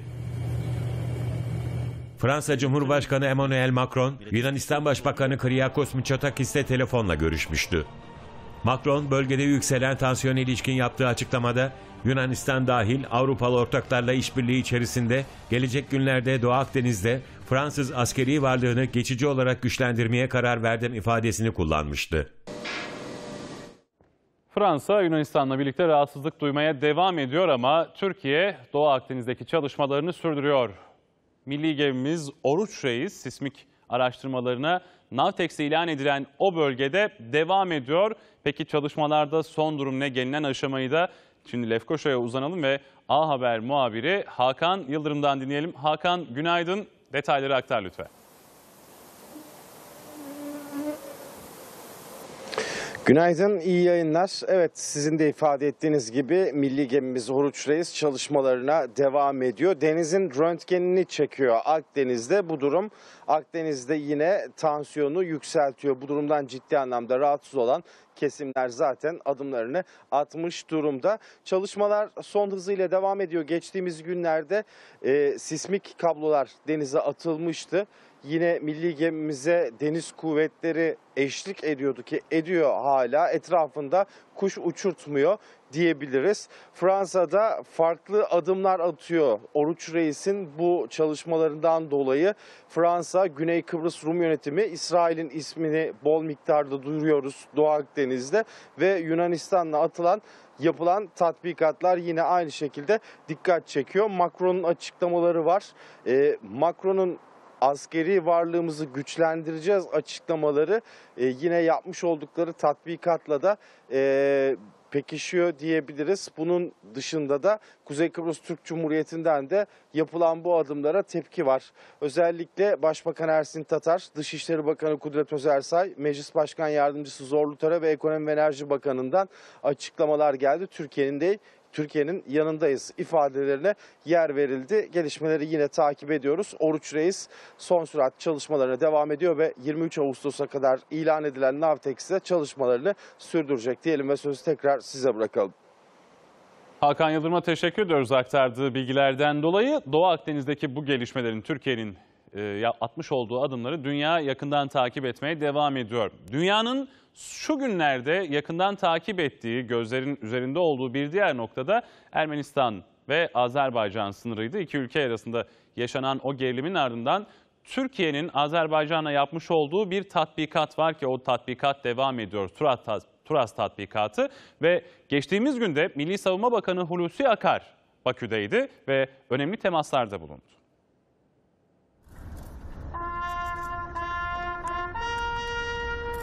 Milli Savunma Bakanı Hulusi Akar ve TSK Komuta Kademesi Azerbaycan'ın başkenti Bakü'ye gitti. Bakan Akar, Genelkurmay Başkanı Orgeneral Yaşar Güler'le birlikte ilk olarak Fahri Hıyaban'a gitti. Burada merhum Cumhurbaşkanı Haydar Aliyev'in kabrine çelenk bıraktı. Bakan Akar ve komutanların sonraki durağı ise Şehitler Hıyabanı oldu. Azerbaycan ve Türk şehitliğini ziyaret eden Akar ve TSK Komuta Kademesi saygı duruşunda bulundu. Türk şehitliğindeki temsili mezarlara karanfil bırakıldı. Omuz omuza savaştığımız ve yan yana şehadet şerbetini içtiğimiz Azerbaycanlı kardeşlerimizle ebedi istirahatgahınızda rahat uyuyunuz. Kahramanlık ve fedakarlıklarınız nesiller boyu daima şükranla hatırlanacaktır. Ziyaret sırasında Azerbaycan Savunma Bakanı Orgeneral Zakir Hasanov da Akar ve TSK Komuta Kademesi'ne eşlik etti. Daha sonra Türkiye ve Azerbaycan'ın ortak tatbikatına katılan askerlerle bir araya geldiler. Akar iki ülke arasındaki kuvvetli bağlara vurgu yaptı. İcra edilen tatbikatın başarıyla amacına ulaştığını belirtti. Ermenistan'ın Azerbaycan'ın Tovuz bölgesinde gerçekleştirdiği hain saldırıyı da bir kez daha kınadı. Azerbaycan yalnız değildir. Azerbaycan'ın haklı davasına ve toprak bütünlüğü olan güçlü desteğimiz bugüne kadar olduğu gibi bundan sonra da aynı şekilde devam edecektir. Azerbaycan işgal altındaki topraklarını kurtarma mücadelesinde 83 milyonluk Türkiye olarak sonuna kadar kardeşlerimizin yanındayız. Yerli ve milli imkanlarla geliştirilen Akıncı TİHA'nın ikinci prototipi ilk uçuş testini başarıyla tamamladı. Baykar Savunma Teknik Müdürü Selçuk Bayraktar'ın mesajı ise oldukça manidardı. Akıncı TİHA'nın ikinci prototipi ilk uçuş testini başarıyla tamamladı. Yerli ve milli imkanlarla geliştirilen Bayraktar Akıncı TİHA'nın ikinci prototipi Çorlu Hava Meydan Komutanlığı'nda ilk uçuşunu gerçekleştirdi. Akıncı TİHA sistem doğrulama ve tanımlama testi kapsamında uçuş ve eğitim merkezinden havalandı. TİHA'nın ikinci prototipinin test uçuşu Baykar Teknik Müdürü Selçuk Bayraktar'ın yönetiminde yapıldı. 13 Ağustos 2020 e, Bayraktar Akıncı Prototip 2'nin ilk uçuş testini ve aynı zamanda sistem doğrulama ve tanımlama testlerini yaptık. Bütün test aşamalarını başarıyla tamamladı hava aracımız. Vatanımıza, milletimize hayırlı uğurlu olsun. 1 saat 2 dakika havada kalan Akıncı TİHA projenin 3. uçuş testini başarıyla tamamlamış oldu. Baykar Savunma Teknik Müdürü Selçuk Bayraktar Twitter'dan yaptığı paylaşımda Akıncı'nın ikinci prototipinin test uçuşunu tamamladık. Kelebek gibi uçuyor, bakalım ne zaman arı gibi ifadelerini kullandı. Bütün test aşamalarının başarıyla tamamlandığını da belirten Bayraktar, vatanımıza, milletimize hayırlı ve uğurlu olsun dedi. Birinci prototip ilk uçuşunu 6 Aralık 2019'da, ikinci uçuşunu 10 Ocak'ta gerçekleştirmişti. Proje kapsamında test uçuşları bundan sonra iki prototiple devam edecek. Yıl sonuna kadar ilk teslimatın gerçekleştirilmesinin planlandığı Bayraktar Akıncı TİHA projesinin 3. prototipinin entegrasyon süreci Baykar Milli SİHA, ARGE ve Üretim Merkezi'nde devam ediyor. Üçüncü prototipte entegrasyonun tamamlanmasının ardından test uçuşlarını icra etmek üzere Çorlu Hava Meydan Komutanlığı'na gönderilecek.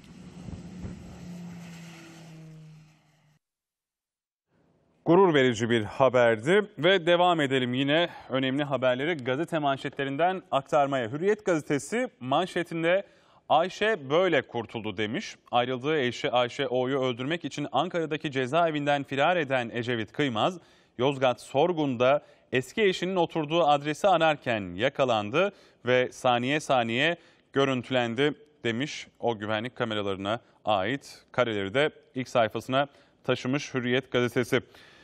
Yastık altı hesabı başlıklı bir haber var. Hemen onu aktaralım. Ahmet Hakan'ın bugünkü köşe yazısında aktardığı bir bilgi var. Düşük faizli krediyle son iki ayda 250 bine yakın konut satıldı. Satılan evlerin ortalama değeri 650-700 bin lira. Kullanılan kredi miktarının ortalaması ise 250 bin lira. Kalan kısım yastık altından gelmiş. Bakan Albayrak'ın sözlerinde Ahmet Hakan Albayrak'ın tarafsız bölgede konut satışları ile ilgili verdiği istatistik dikkat çekti diyerek tekrar aktarmış. Sivas'tan yola çıkıyor. Muharrem İnce beklenen açıklamasını yaptı. CHP yönetimine yüklendi. Bin günde memleket hareketini 4 Eylül'de Sivas'tan başlatacağını söyledi demiş Hürriyet gazetesi de ilk sayfasına aktarmış. Bu arada oğlumun intiharını ben önledim başlığı var. Miras yüzünden annesiyle kardeşini öldüren Hatay Vali Yardımcısı Tolga Polat'ın babası Şeref Polat, oğlum kardeşini ve annesini öldürdükten sonra aynı tabancayla intihara kalkıştı. Tabancayı elinden ben aldım dedi ve o miras konusunda 20 milyonluk bir miras olduğunu aktarmıştı geride bıraktığımız gün. Akdeniz'de kim ne istiyor başlığıyla yine tansiyonun yükseldiği Akdeniz'deki detaylar kaleme alınmış Hürriyet gazetesinde. Ve kadınlar adına kınıyorum. Cumhurbaşkanı Erdoğan yeni akit yazarı Abdurrahman Dilipağ'ın İstanbul Sözleşmesi'ni savunan AK Partili kadınlara hakaret içeren yazısına sert çıktı. Emine Erdoğan ve partili kadınların ayakta alkışladığı konuşmada Erdoğan şöyle dedi. AK Parti'nin kadınları için AKP'nin papatyaları gibi yakıştırmalarla, yeşil sermaye gibi yaklaşımlarla ağzımıza almaktan edep duyuyoruz. Küfrü bir ifadeyi kullanarak yakıştırmaların içine giren köşe yazarlarını da tüm kadın kollarım adına ve tüm kadınlar adına kendilerini kınıyorum dedi Başkan Erdoğan da geride bıraktığımız gün AK Parti'nin 19. kuruluş yıl dönümünde yapmış olduğu konuşmada o törende, o kutlamada Başkan Erdoğan'ın oldukça dikkat çeken mesajları da vardı. AK Parti'nin kuruluş sürecine dikkat çekti ve AK Parti'nin kurucusunun milletin kendisi olduğunu söyledi.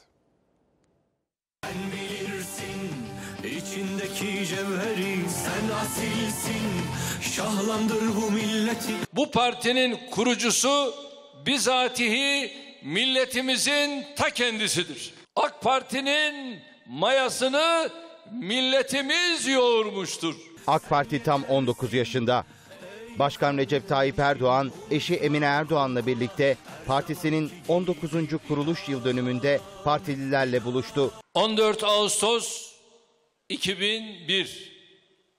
Evet, AK Parti'nin resmen kurulduğu bu tarih ülkemizle birlikte bölgemizin ve dünyanın geleceğini değiştirmiştir. Bir kez daha AK Parti'nin doğuş nedenlerini anlattı. Üyesinden delegesine ve teşkilat yöneticilerine kadar her kademede vazife üstlenen arkadaşlarımızın tek amacı aziz milletimize ve ülkemize hizmet etmek olmuştur. Türkiye'de bu kadar uzun süre iktidarda kalan bir başka parti daha yoktur. Biz millete efendi olmak için değil, hizmetkar olmak için bu yürüyüşe katıldık. Ve Muharrem İnce beklenen açıklamasını yaptı. Geride bıraktığımız gün o da Ankara'da açıklamalarını basın toplantısı düzenledi ve 4 Eylül'de bin günde memleket hareketini başlatıyoruz dedi.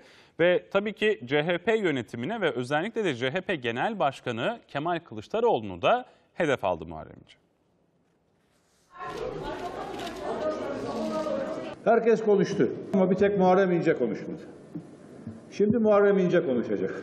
Günlerdir merakla beklenen açıklamasına bu sözlerle başladı. Parti kurmuyor, hareket başlatıyorum dedi. Adını bin günde memleket hareketi koydu. Bizim başlattığımız hareket bir muhalefet hareketi değildir. Parti içi muhalefet hareketi hiç değildir. Başlattığımız hareketin adı bin günde memleket hareketidir. CHP eski milletvekili Muharrem İnce Ankara'da bir otelde geçti kameraların karşısına. Yol haritasını yarım saat süren basın toplantısında açıkladı. 4 Eylül'ü işaret etti. 4 Eylül'de Sivas Kongresi'nin yıl dönümünde Sivas'ta olacağız. 4 Eylül'de memleket hareketini hep birlikte başlatacağız. Atatürk düşmanları olmayacaktır. 24 Haziran seçimlerinde 13 bin sandıkta CHP'nin gözlemcisi olmadığını iddia etti İnce. Eleştiri oklarının hedefinde Kılıçdaroğlu yönetimi vardı. 13 bin sandıkta Cumhuriyet Halk Partisi'nin gözlemcisi yok. Seçim ikinci tura kaldı dediler. 4 milyon oyu sokağa bırakmışlar. Benden yalan söyleyip milletin karşısına çıkmamı istiyorlar. Nasıl çıkacağım ben? Seçim sürecinde yalnız bırakıldığını söyledi İnce. Sözleri sertti. 14 milletvekilinin hepsine tırpan çekilmiş. Bir Kemal Bey'in reklamı bir benim reklam. Ya Kemal Bey'in reklamını neden veriyorsunuz Sayın Kılıçdaroğlu? Aday değil ki o. Aday benim. Talimat veriyorlar gazetelere, televizyonlara. Benim reklamlarımı kesiyorlar. Bu psikoloji altında bana miting yaptırıyorlar. Kazanmasın diye ellerinden geleni yapıyorlar. İnce CHP'nin iktidar iddiası olmadığını dile getirdi. Kılıçdaroğlu'na yönelik eleştirilerini sürdürdü. Bizim genel başkanın öyle bir iddiası var mı? Ben mi duymadım? Böyle bir iddiası yok ki. Böyle bir iddiası yoksa CHP'nin iktidara yürüdüğü de hayal demektir. Sözü yerel seçimlere getirdi. HDP gerçeğini hatırlattı. İstanbul'u, Ankara'yı, Adana'yı, Mersin'i, Hatay'ı, Antalya'yı bize Kürt vatandaşlarımız kazandırdı. CHP'de rant baronları var dedi İnce. Parti yönetimini işaret etti. Saray bunu destekliyor diyenler CHP içindeki rant baronlarıdır. Sık sık Kılıçdaroğlu'na hedef aldı Muharrem İnce. Cumhuriyet Halk Partisi'nin genel başkanı bir konuşmacıyı dahi dinlememiştir. Kadın kolları kurultayına ise katılma zahmeti dahi göstermemiştir. Kurultayın seçmediği parti meclisi üyesini iki satırlık bir yazıyla siz seçmezseniz seçmeyin ben genel başkan yardımcısı görevini ona veririm diyerek kurultay iradesini de tanımayan bir genel başkanımız var artık. Ömrüm CHP zihniyetiyle mücadele etmekle geçti diyen dostlarına değil, önce kendi gücüne ve kendi evlatlarına güvenmelidir. İnce toplantının ardından soru almadan salondan ayrıldı. Tabii Muharrem İnce'nin iddialarına CHP'den de hemen birkaç saat sonra açıklamalar, cevaplar geldi. İddiaları yalanladı CHP Genel Merkezi. Neydi o iddialar? Hemen aktaralım sizlere. Muharrem İnce, Kürt seçmenlere teşekkür edilmedi dedi. Genel Merkez ise CHP adaylarına oy veren tüm seçmenlere teşekkür etti dedi. Muharrem İnce yine CHP sandıklara sahip çıkmadı iddiasına da genel merkez CHP seçim sandıklarına bütün seçim dönemlerinden daha fazla sahip çıktı ifadesini kullandı. Muharrem İnce'nin Cumhurbaşkanı adayından çok Kılıçdaroğlu'nun tanıtımını yaptığı iddiasına ise genel merkez iki seçimli kampanyada Kılıçdaroğlu ve seçim kampanyasının billboardlarda temsil oranı Cumhurbaşkanlığı kampanyası lehine 3'te 1, filmlerde ise yine Cumhurbaşkanlığı kampanyası lehine 5'te 1 olduğunu söyledi. Muharrem İnce'nin CHP Cumhurbaşkanı adayına bilgi akışı sağlamadı dedi. Genel merkez seçim gecesi sonuçların genel merkezde izlenmesi için davette bulunuldu ancak davet kabul görmedi açıklamasını yaptı. Yine Muharrem İnce'nin CHP Cumhurbaşkanı adayına yakın isimleri siyaseten engelledi dedi. Genel merkezse CHP'nin aday belirleme ölçüsü kimin kime yakın olduğu değil, kazanma potansiyelidir açıklamasını yaptı ve son olarak Muharrem İnce'nin diğer iddiası da CHP Cumhurbaşkanlığı kampanyasına gerekli desteği vermedi açıklamasıydı. Genel merkezde Cumhurbaşkanı seçimi kampanyasına partimizin verdiği mali destek miktarı 82 milyon lira açıklamasını yaptı ki bu tartışmalar önümüzdeki günlerde de devam edecek. Bu arada CHP'li eski CHP milletvekili Muharrem İnce'nin açıklamalarına Milliyetçi Hareket Partisi Genel Başkanı Devlet Bahçeli de değerlendirmelerde bulundu. Bahçeli A Haber'e özel vermiş olduğu röportajında 4 Eylül'de Sivas Kongresi'nin ruhuyla atacağı adımla CHP içinde Atatürk'e dönüş hareketini başlatacaktır dedi. Parti kurar mı kurmaz mı bilmiyorum dedi. Ardından ama diyerek ekledi. Kökünden kopan CHP'yi özüne döndürmek maksadıyla çaba sarf edecektir. MHP lideri Devlet Bahçeli A Haber'e konuştu. Muharrem İnce'nin başlattığı hareketi yorumladı. Bahçeli, İnce'nin 2018 yılından beri eleştiri ve suçlamalara maruz kaldığını belirtti. 4 Eylül'de Sivas Kongresi'nin ruhuyla atacağı adımla CHP içinde Atatürk'e dönüş hareketini başlatacaktır. Değerlendirmem budur. Yani kaynağından ve kökünden kopan CHP'yi özüne döndürmek maksadıyla çaba sarf edecektir. Bin günde memleket parolasıyla Atatürk'ü ve kurucu değerleri hareketinin mihveri yapacağı anlaşılmaktadır. MHP lideri CHP yönetimine hedef aldı. CHP'de Atatürk'ün ahı tutmuş, geçmişe özlem yeşermiş ve yükselmiştir. Artık taşeron ve teslimiyetçi bir zihniyetin geldiğimiz bu aşamada işi oldukça zordur ifadelerini kullandı.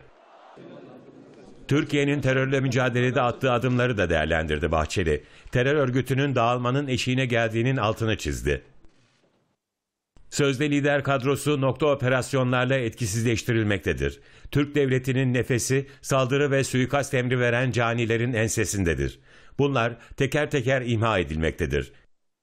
PKK'nın önünde iki seçenek kaldığı vurgusu yaptı MHP lideri. Birincisi teröristler silahlarıyla birlikte Türk devletine teslim olmalıdır. İkincisi de Türk adaleti karşısında cinayetlerin ve hıyanetlerin hesabını sonuna kadar vermelidir. Bahçeli MHP'nin terörle mücadeleye verdiği desteği de bir kez daha yeniledi.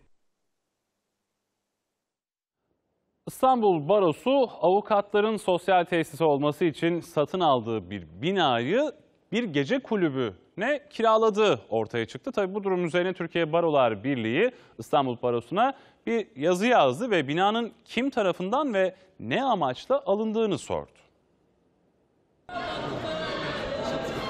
İstanbul Barosu avukatların sosyal tesis olarak kullanması için satın alınan binayı gece kulübüne kiraladı.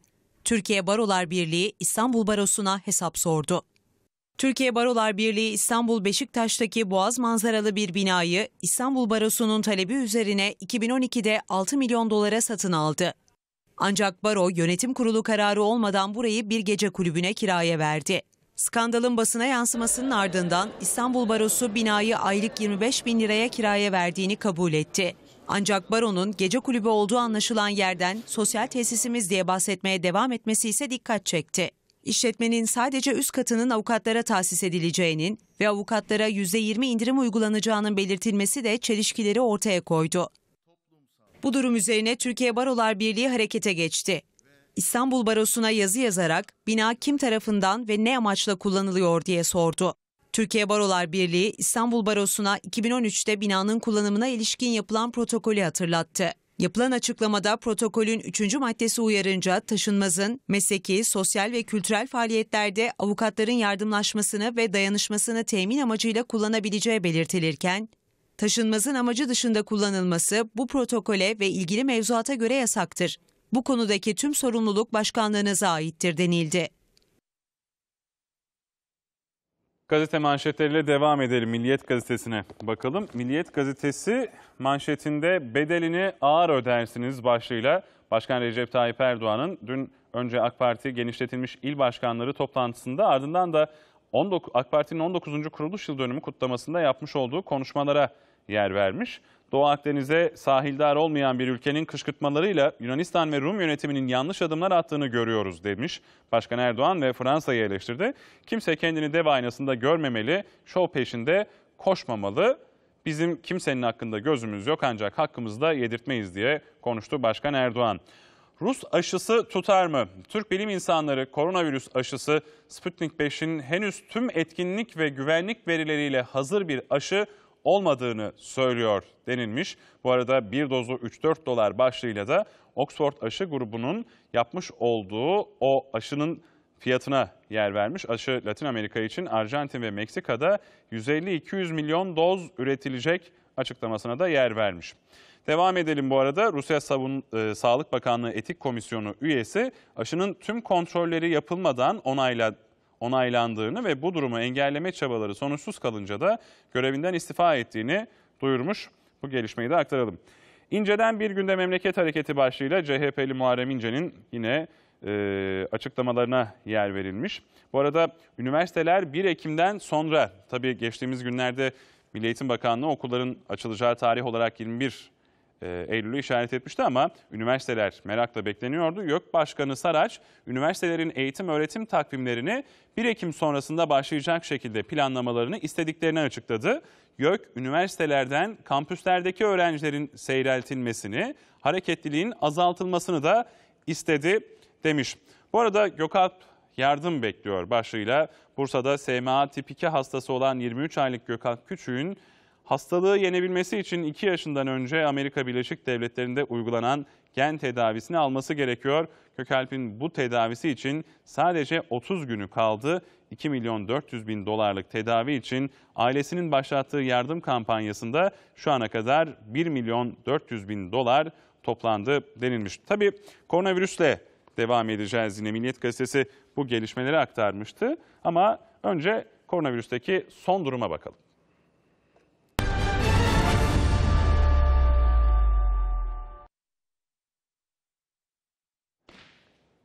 Sağlık Bakanı Fahrettin Koca paylaştı yine koronavirüsle mücadelede geldiğimiz son durumu rakamlarla. Bakan Koca'nın hemen paylaşımına yakından bakalım ki özellikle vaka sayılarındaki artışlara dikkat çekti Bakan Koca. 13 Ağustos itibariyle Türkiye'de 66.892 test yapıldı. Yapılan testler içerisinde 1243 yeni vaka tespit edildi. 21 vatandaşımız maalesef hayatını kaybetti. 968 hastamız da iyileşmeyi başardı. 647 hastamızın da durumu ağır. Altını çizerek belirtelim. Hasta sayımızdaki yükseliş süreklilik kazanmaya başladı. Ağır hasta sayımızda ise 15 artış var. 5807 filyasyon ekibimiz temaslı taraması yapıyor.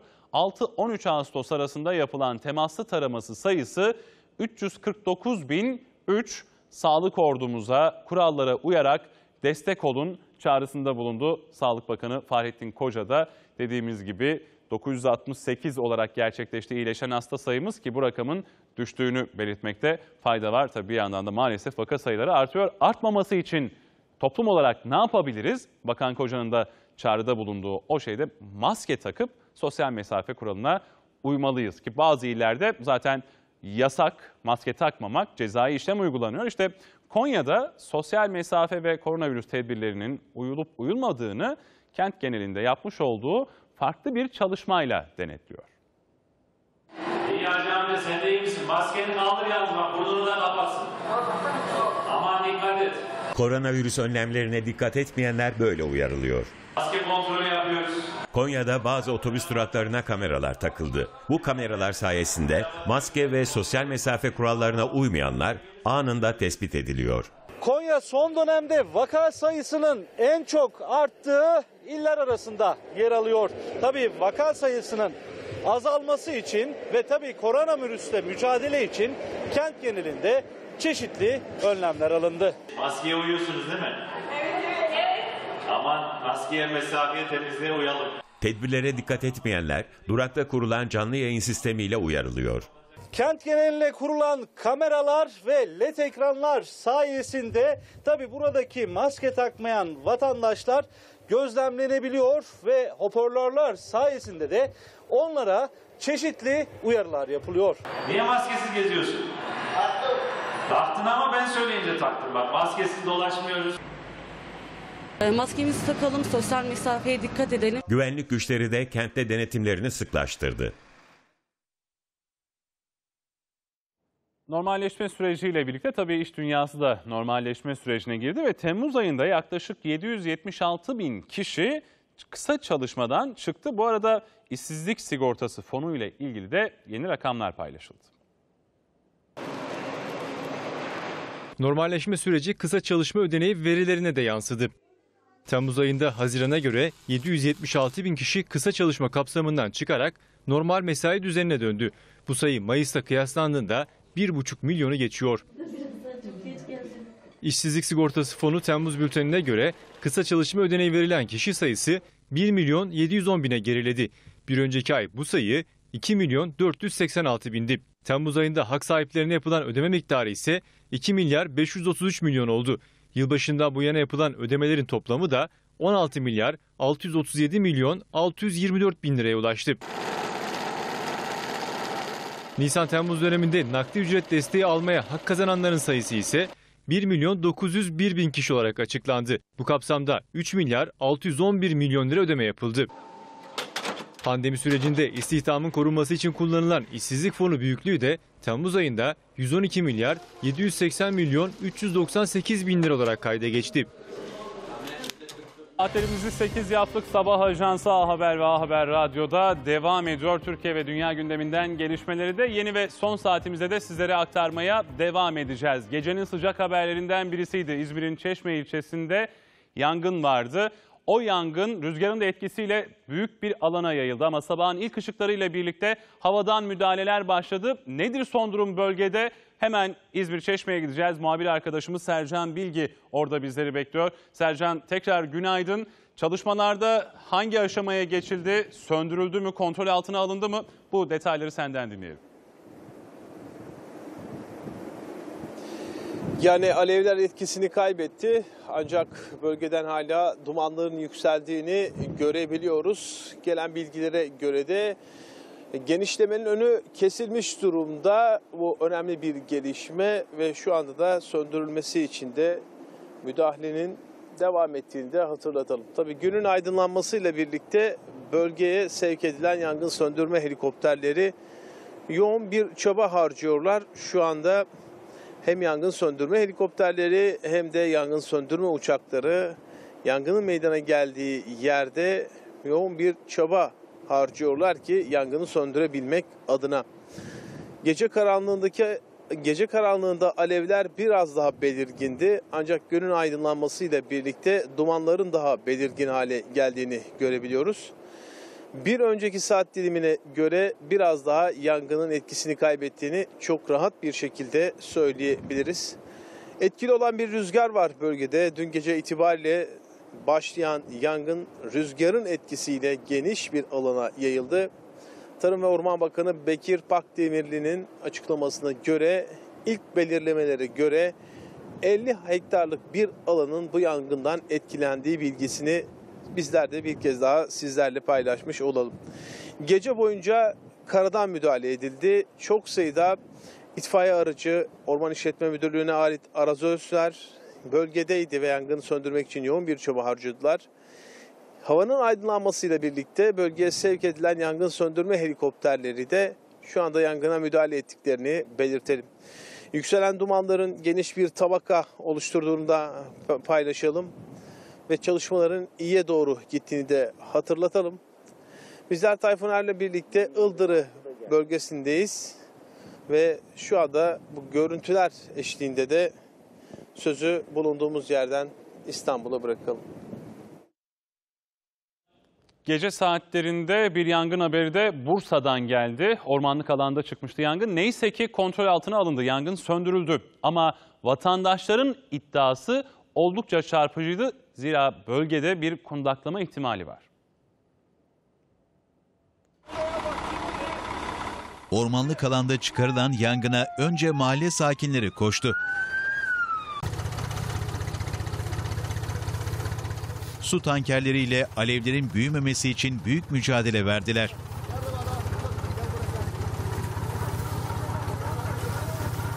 Dedik ki ya sarhoşlar yakıyordu.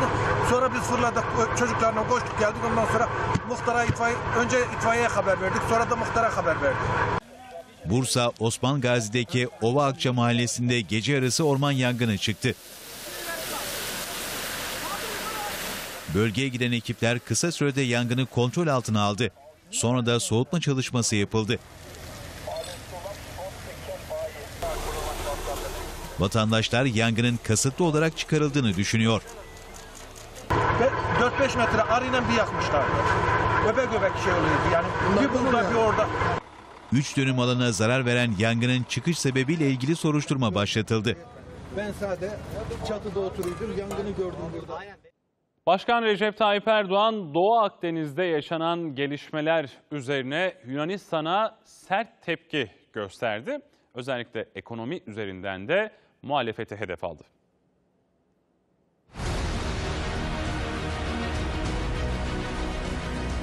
Oruç reisimize sakın ha saldırmayın.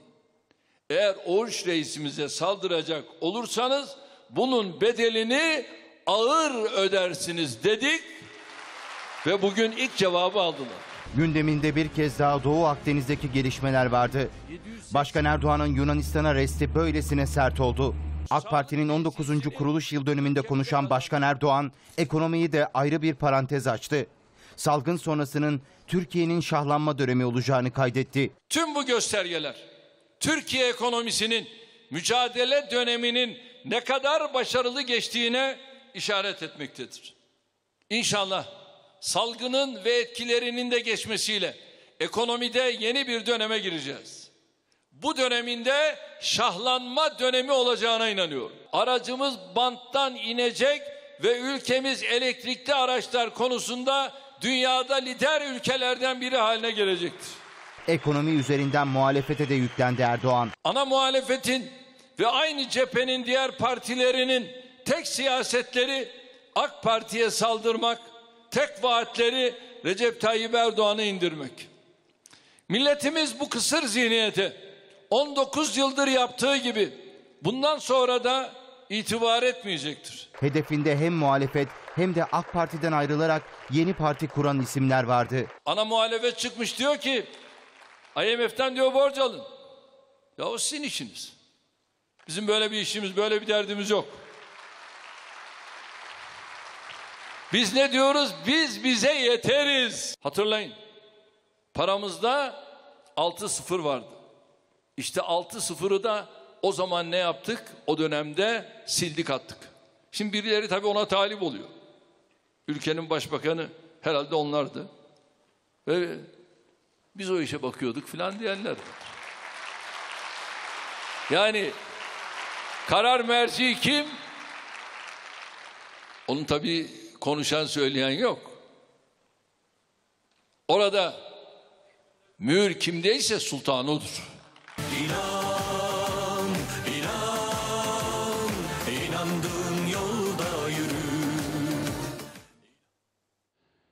Doğu Akdeniz'de haddini aşan işlere imza atan Yunanistan'a yine haddini aşar bir vaziyette destek veriyor. Fransa Başkan Erdoğan da zaten o tepkisini dile getirdi. Geçtiğimiz günlerde savaş uçağı göndermişti Fransa Güney Kıbrıs'a.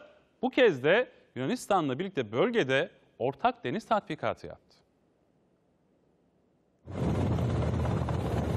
Yunanistan ve Fransa Doğu Akdeniz'de ortak askeri tatbikat düzenledi. Türkiye uluslararası hukuktan kaynaklanan hakları kapsamında Doğu Akdeniz'de Türkiye'ye ait karasularında Navtex ilan etti. Ardından da Oruç Reis sismik araştırma gemisi bölgede faaliyet yürütmeye başladı.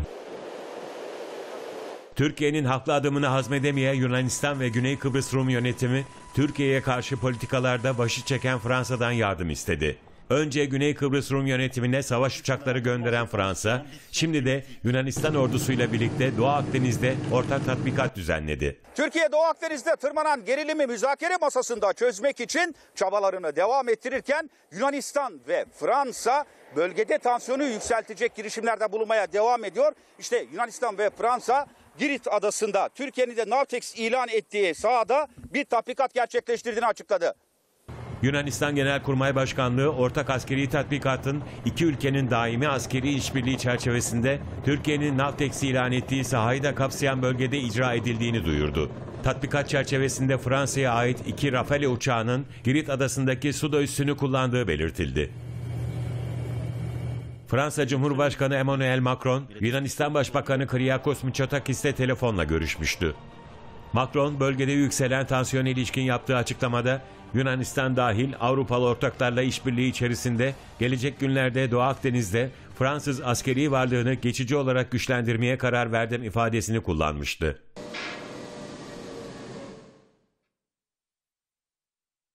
Yunanistan'ın adımları tabii sadece Fransa ile kalmadı. Avrupa Birliği'ne bir çağrıda bulundu ve o çağrı üzerine de Avrupa Birliği bir toplantı gerçekleştirecek. Onun öncesinde ise Dışişleri Bakanı Mevlüt Çavuşoğlu mevkidaşlarına bir mektup gönderdi. Bakan Çavuşoğlu Avrupalı mevkidaşlarına gönderdiği Doğu Akdeniz mektubunda Türkiye'nin diyalog ve işbirliği çağrılarına vurgu yaptı. Buna rağmen Yunanistan ve Güney Kıbrıs Rum yönetiminin Türkiye'yi dışlama hedefiyle oluşturdukları ittifak ve girişimlere işaret etti. Çavuşoğlu Avrupa Birliği üyesi ülkeleri bugüne kadar iyi niyetini defalarca ortaya koyan Türkiye'ye karşı alınabilecek haksız bir tutumun karşısında durmaya çağırdı. Bakan Çavuşoğlu mektupta Türkiye Avrupa Birliği ilişkilerinin Yunanistan ve Kıbrıslı Rumların kaprislerinden daha fazla zarar görmemesi gerektiğini de vurgu yaptı. Ve gazetelerle devam ediyoruz Sabah Ajansı'na. Sabah gazetesine bakacağız şimdi. Sabah gazetesi yeni güne hangi manşette çıktı? Yunan tahrikine Oruç Reis tokadı. Akdeniz'de Oruç Reis'i taciz etmek isteyen Yunan fırkateyni Limnos'u Kemal Reis engelledi. Hasar gören Limnos limana çekilmek zorunda kaldı. Başkan Erdoğan Yunan provokasyonuna verilen cevabı il başkanları toplantısı ve AK Parti'nin 19. kuruluş yıl dönümü programında açıkladı. Oruç reisimize sakın saldırmayın, saldıracak olursanız bunun bedelini ağır ödersiniz dedik ve ilk cevabı aldılar dedi Başkan Recep Tayyip Erdoğan. Ve Osmanlı'nın vicdanı Cumhuriyet'in aklıyız ifadesine de yer vermiş. Başkan Erdoğan'ın AK Parti'nin kuruluş yıl dönümü programında yaptığı konuşmada bu hareket, bu dava Selçuklu'nun kalbi, Osmanlı'nın vicdanı Cumhuriyet'in aklıdır. AK Parti'nin kumaşını millet dokumuştur dedi. Ve Pınar cinayetinde son halka Nazlı. Pınar Gültekin cinayetinde gözler genç kızın son görüştüğü Nazlı Bey'e çevrildi.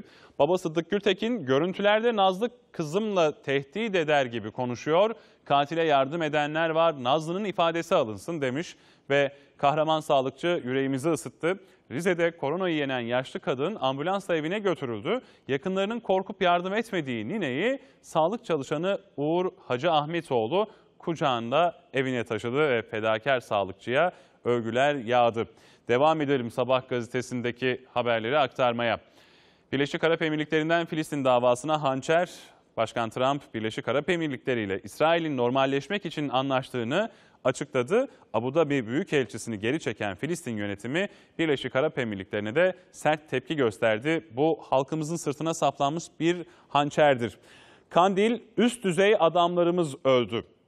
Kuzey Irak'ta iki araca düzenlenen nokta operasyonlarda iki Iraklı general 7 terörist etkisiz hale getirildi. Operasyonun ardından Kandil'deki elebaşlarından itiraf niteliğinde bir açıklama geldi. Bu saldırıda hem bizim hem de Irak ordusundan üst düzey yetkililer öldü denilmiş yapılan açıklamada.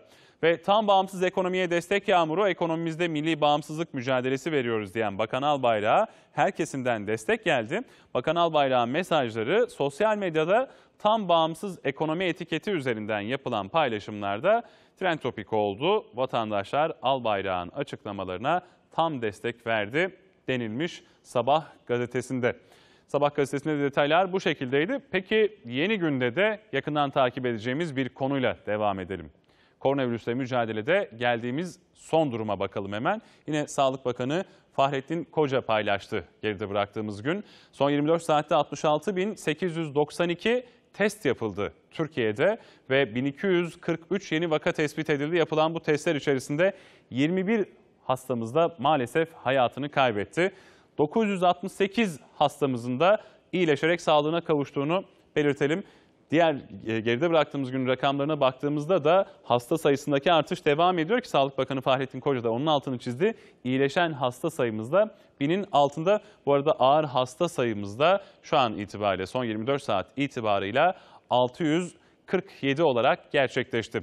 Ve rakamlara tabii ki dikkat etmemiz gerekiyor. Rakamların yükselmemesi için, ülkemizden koronavirüsün bir an önce gitmesi için yapmamız gereken şey maske takmak ve sosyal mesafe kuralına uymak. Bu süreçte bizlerin yanından ayrılmıyorlar. Hem hastanede hem de evde. Kim onlar? Sağlık çalışanları. Bu savaşta, koronavirüste verdiğimiz bu savaşta en ön safta onlar çarpışıyorlar. Virüsle mücadele ediyorlar. Aralarında bizler hayatta kalalım diye virüs nedeniyle tedavi ederken hayatını kaybedenler de vardı. Doktorlarımız, hemşirelerimiz, sağlık çalışanlarımızın tamamı. Ama maalesef onlara karşı hiç de hoş olmayan bazı tavırlar var. Bakın Erzurum İl Sağlık Müdürü Gülsel Bedir bir paylaşımda bulunmuştu. Ağız ve diş sağlığı merkezimizde çalışan bir kardeşimiz filyasyon çalışmaları kapsamında evde takip için gittiği bir evde numune alıyor. Sonuç çok yazık bunu hak etmedi demiş. Neydi o paylaşım? Saliha Kamiloğlu'nun paylaşımına bakacak olursak o ağır ve yorucu koruyucu kıyafetlerimizi giyinip sıcak havada filyasyon için saatlerce ev ev dolaştık. O kadar riske rağmen evine gidip numune aldığımız adam bize cehenneme kadar gidin dedi. Hiçbir şey demeden asansöre bindim. Boğazım düğümlendi demiş.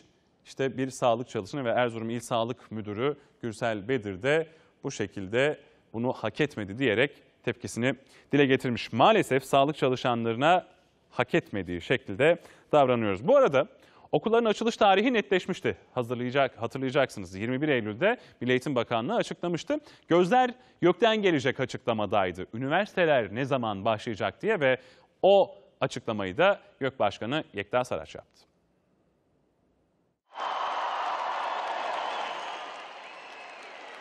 Yükseköğretim Kurulu'ndan üniversitelerin açılış tarihiyle ilgili açıklama geldi. YÖK, üniversitelerden eğitim öğretim takvimlerine 1 Ekim sonrasında başlayacak şekilde planlamalarını istedi. Kampüslerdeki öğrencilerin seyreltilmesi ve hareketliliğin azaltılması için de üniversitelere geniş yetki tanındı. Verilen yetkiyle üniversiteler fakülte ve program bazında farklı uygulamalar yapabilecek, yeni karma model hayata geçirilebilecek. Bu modele göre X bölümü uzaktan eğitim görüp Y bölümü seyreltilmiş olarak yüz yüze eğitime geçebilecek. Böylelikle kampüslerde eş zamanlı çok daha az öğrenci olacak. Salgının bölgesel ve yerel seyrine göre farklı programlar için yapılacak uygulamalara üniversitelerin ilgili kurulları karar verecek. YÖK daha önce de üniversitelerde uzaktan öğretim yoluyla verilebilecek ders oranını %30'dan %40'a yükseltmişti. Ve bir açıklamada ÖSYM'den geldi. ÖSYM sınav başvurularında HES kodu yani Hayat Eve Sağır kodunu isteyeceklerini belirtti adaylardan. Bununla birlikte tabii ki riskli hastalarda, riskli adaylarda takip edilecek ve riskli adaylar sınavlara alınmayacak. Seyahatlerin ardından artık sınavlarda da HES kodu dönemi başlıyor. Açıklama Ölçme, Seçme ve Yerleştirme Merkezi'nden geldi. Buna göre ÖSYM'nin uygulayacağı sınavlarda adaylardan HES kodu bilgisi alınacak. Bu sayede adayların sağlık durumu sorgulanacak. Risk taşıyıp taşımadığı, hasta veya temaslı olup olmadığı belirlenecek. Riskli kişilerin sınava başvurusu alınmayacak. Adayların sınava başvuru işlemi yapmadan veya başvuru için başvuru merkezine gitmeden önce HES kodu alması şart. HES kodunun geçerlilik tarihinin ise başvurulan sınavın yapılacağı gün veya daha ileri tarihli olması gerekiyor. HES kodu Hayat Eve Sığar mobil uygulaması ve SMS yoluyla alınabiliyor. Adayların edindikleri HES kodu ÖSYM aday işlemleri sisteminde profilim alanında bulunan HES kodu bilgilerim sayfasından kaydetmeleri gerekiyor. Koronavirüs tüm dünyayı etkisi altına almış durumda. Gözlerde bir yandan aşı çalışmalarından gelecek olan haberlerde. Tam da bu noktada Dünya Sağlık Örgütü'nden önemli bir açıklama geldi.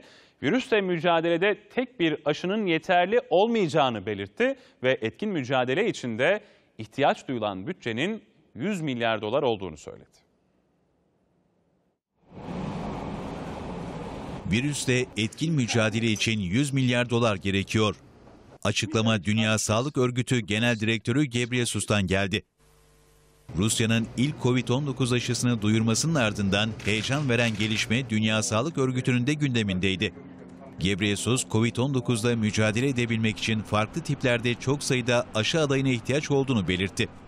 Başarılı bir aşı bulunduğunda talebin arzdan fazla olacağını da sözlerine ekledi. Örgüt direktörü ayrıca salgınla etkin bir şekilde mücadele edebilmek için en az 100 milyar dolar gerektiğini ifade etti. Dünyanın halihazırda salgının kısa vadeli sonuçlarıyla uğraşmak için trilyonlarca dolar harcadığını ifade etti.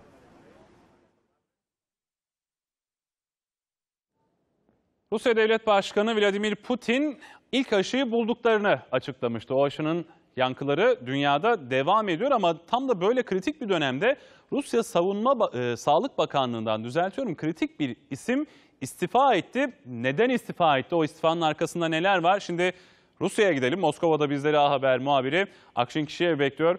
Akşin günaydın, kolay gelsin. İstifanın arkasında yatan gerekçeler ne ve nasıl yankılandı? Rusya'da detayları aktar lütfen.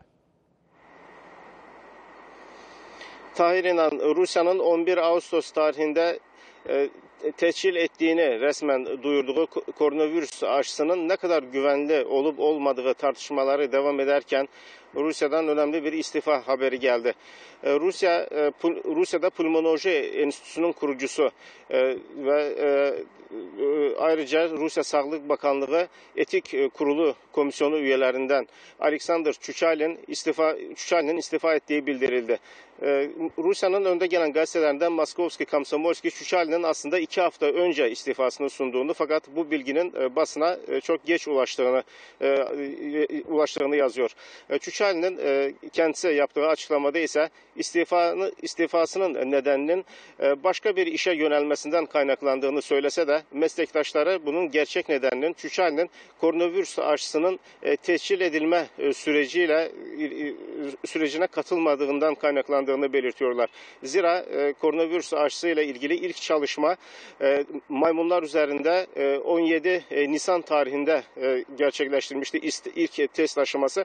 Fakat aradan sadece 3 hafta geçtikten sonra insanlar üzerinde de e, bunun e, testi gerçekleşti, gerçekleşti ki Çuçalin buna sert bir şekilde karşı çıkmış. Zira bunun insan hayatı üzerinde e, e, ciddi e, e, riskler oluşturabileceği görüşünü dile getirmiş ve bunun da e, kendisinin ahlakına aykırı olduğunu ve bu şartlarda çalışmak istemediğini daha önce meslektaş, meslektaşlarına söylediği e, belirtiliyor.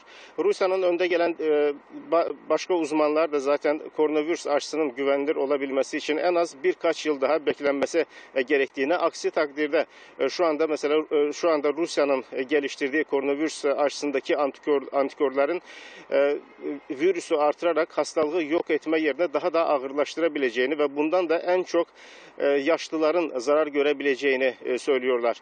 E, Rusya Sağlık Bakanlığı ise tüm bu tartışmaların yersiz olduğunu, e, Rusya'nın teşkil ettiği koronavirüs aşısının tüm kontrollerden e, geçtiğini ve güvenilir e, olduğunu e, duyuyor, e, açıklıyor. E, Sağlık Bakanlığı e, özellikle Batı ülkelerinden gelen eleştirilerin kıskançlık duygularından e, kaynaklandığını və e, Sağlıq Bakanı Mixail Muraşko e, iki hafta sonra ilk partisi e, piyasaya sunulacaq olan koronavirus aşısının kendisinin də kullanacağını söylədi. Bu arada Rusiyanın öncelikli olarak piyasaya sunulacak e, koronavirüs aşısını ülke içi ülkenin iç ihtiyaçlarını karşılamak için e, öncelikli olarak kullanacağını ve daha sonra ise yurt dışına ihraç etmeyi de planlıyor ki Rusya Sağlık Bakanlığı yurt dışına ihraç edilecek koronavirüs aşısının iki doz koronavirüs aşısının fiyatının 10 dolar olacağını da açıkladığını belirtelim ve söz tekrar İstanbul'a bırakalım. Akşin kişiye ve teşekkür ediyoruz aktardığı bilgilerden dolayı. Sabah ajansına gazetelerle devam edelim ve Takvim Gazetesi yeni güne hangi manşette çıktı hemen sizlere aktaralım. Şov yapma Macron başlığı var manşette. Devam edelim e, gazetenin hemen aşağısında. Başkan Recep Tayyip Erdoğan'ın geride bıraktığımız gün AK Parti'nin 19. kuruluş yıl dönümünde yapmış olduğu konuşmaya yer vermiş. Ve derdimiz şov değil, kardeşlik gereği Lübnan'dayız. Macron'un yaptıklarını değil, insanlığımızın gereğini yapıyoruz. Akdeniz'de gerginliği artıran Yunan zihniyetidir. Kimse kendini dev aynasında görmemeli, şov peşinde de koşmamalı sözlerine yer vermiş manşetinde Takvim Gazetesi ve manşetteki bir diğer haber. Muharrem İnce CHP yönetimine isyan bayrağı açtı. Kılıçdaroğlu'nu bombaladı. CHP bu kafayla iktidar olamaz. CHP iktidara yürüyormuş da engel oluyormuşum. Genel başkanın böyle bir iddiası yok. İktidara yürüme hayal dedi. Muharrem İnce ve Gökalp için son 30 gün Bursa'da Gökalp Küçük SMA'ya yakalandı. ABD'de tedavisi için 2.4 milyon dolar şarttı. Kampanya başlatıldı ve o kampanyada şu ana kadar 1 milyon 400 bin dolar toplandı denilmiş. Canavar Enes'i kopardı. Bursa'da bir aracın altında kalan Enes, 10 yaşındaki Enes kurtarılamadı. Baba Yusuf Güler haykırdı. Canavar cezasını çeksin. Ve Anlat Nazlı başlığı da Pınar Gültekin cinayetindeki şüpheli bir diğer isim Nazlı e, gözlerin Nazlı Bey'e çevrildiğine ve ifadesinin alınmasını istediğine yer vermiş Pınar Gültekin'in babası tarafından. Gizem'i koruyamadık. Ayrıldığı kocası katletti. İzmir'de Gizem Filiz eşi Aykut H'den boşandı. Cani adamın tehditleri sürünce koruma kararı aldırdı ancak katil durmadı. Balkondan tırmandı. İki çocuğunun annesini boğarak öldürüp polisi aradı. açıklamasına, e, detaylarına yer vermiş Takvim Gazetesi. Ve gündemle yine devam edelim. Geride bıraktığımız gün Başkan Recep Tayyip Erdoğan'ın yaptığı açıklamalarda önemli bir gündem maddesi de AK Partili kadınlara yönelik sözler sarf eden Akit gazetesi yazarı Abdurrahman Dilipak'tı. İsim vermedi Başkan Erdoğan ama Dilipak'ı çok sert sözlerle eleştirdi. Bu arada Başkan Erdoğan ilk kez İstanbul Sözleşmesi'nden çıkılabileceğinin de sinyalini verdi. AK Parti'nin kadınları için. Öbür tarafta AKP'nin papatyaları gibi yakıştırmalarla, yeşil sermaye gibi yaklaşımlarla ben ağzıma almaktan edep ediyorum. Küfri bir ifadeyi kullanmak suretiyle bu tür yakıştırmaların içine giren köşe yazarları noktasında da kusura bakmasınlar. Tüm kadın kollarım adına ve tüm kadınlar adına kendilerini kınıyorum. İsim vermediği ama sözleri hiç olmadığı kadar sertti. Biz her türlü fikre, her türlü eleştiriye, her türlü teklife, her türlü mücadeleye saygı gösteririz. Ama kadınlarımızın onuruna, haysiyetine, kişiliğine, iffetine yönelik en küçük bir saldırıya da müsaade etmeyiz. Aile hassasiyetimizi kimsenin tartısına sunacak da değiliz. Başkan Erdoğan AK Parti'nin 19. kuruluş yılı kutlamasında kürsüdeydi. AK Partili kadınlara skandal ifadeler kullanan, papatya benzetmesi yapan yazar Abdurrahman Dilipak'a en yüksek perdeden tepki gösterdi. Kadının adeta mülk gibi görülmesi yanlıştır. Bir avuç sapkına da meydanı bırakmayacağız. Başkan Erdoğan, AK Parti Kadın Kolları Başkanı'na yönelik sosyal medya üzerinden yapılan istifa çağrısını da eleştirdi. Parti içi demokrasi hatırlatması yaptı. Tweet atmak suretiyle benim kadın kollarımın başında olanlara istifasını vermelidir veya istifa etmesi gerekir. Size mi soracağız ya? Bizim partimizin kadın kolları kendi demokratik tercihlerini kongreden kongreye kullanır. Başkan Erdoğan, İstanbul Sözleşmesi tartışmalarına ilk kez değindi. Tercüme metinler yerine artık kendi çerçevemizi kendimiz belirlememiz gerekiyor. Kopenhag kriterleri diyeceğimize Ankara kriterleri der ve yolumuza devam ederiz. Erdoğan tartışmanın kasıtlı çıkarıldığına vurgu yaptı. Enerjimizi ve vaktimizi heba eden son tartışmanın kasıtlı bir şekilde alevlendirildiğini, bazılarının da bilerek veya bilmeyerek bu ateşe odun taşıdığını düşünüyorum. Bu ateşi körükleyenler kadına şiddetle mücadeleden bir adım olsun geri gideceğimizi sanıyorlarsa şimdiden bilsinler ki hüsrana uğrayacaklardır.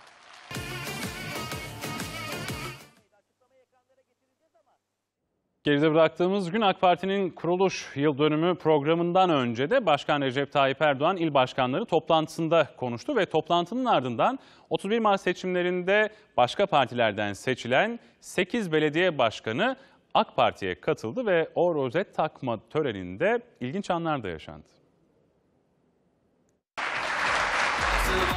AK Parti ailesi genişledi. 8 belediye başkanı daha rozetini değiştirip AK Parti'nin çatısı altına girdi. Maskeli ve bol bol gönül selamlı katılımda sosyal mesafe dikkatleri çekti. Sayın Cumhurbaşkanımızın e, mesafe kurallarına riayet ederek arkadaşlarımızla bir resim vermesini sağlayacağız. AK Parti rozetleri temas engelleyebilmek adına belediye başkanlarına önceden verildi. Geride bıraktığımız gün Başkan Erdoğan açıklamıştı. 19. kuruluş yıl dönümünde AK Parti hükümetleriyle birlikte Türkiye nereden nereye geldi diye. Şimdi rakamlarla hemen ona bakalım. Kişi başı gelir 2002 yılında 300, 3660 dolardı. 2019'da bu 9046 dolara yükseldi. Enflasyon oranı 2002 yılında %29.7 idi. 2019 yılında %11.5'e yükseldi. Yine sosyal harcamalar 2002 yılında 28.2 milyar lirayken 2019 yılında 62.1 milyar liraya geldi. İhracat rakamları 2002 yılında 36 milyar dolardı. 2019 yılında bu rakam 181 milyar dolara yükseldi. İstihdam 2002 yılında 20 milyonken 2019 yılında 28,5 milyon oldu. Memur maaşları 2002 yılında 22 milyar Türk lirasıydı.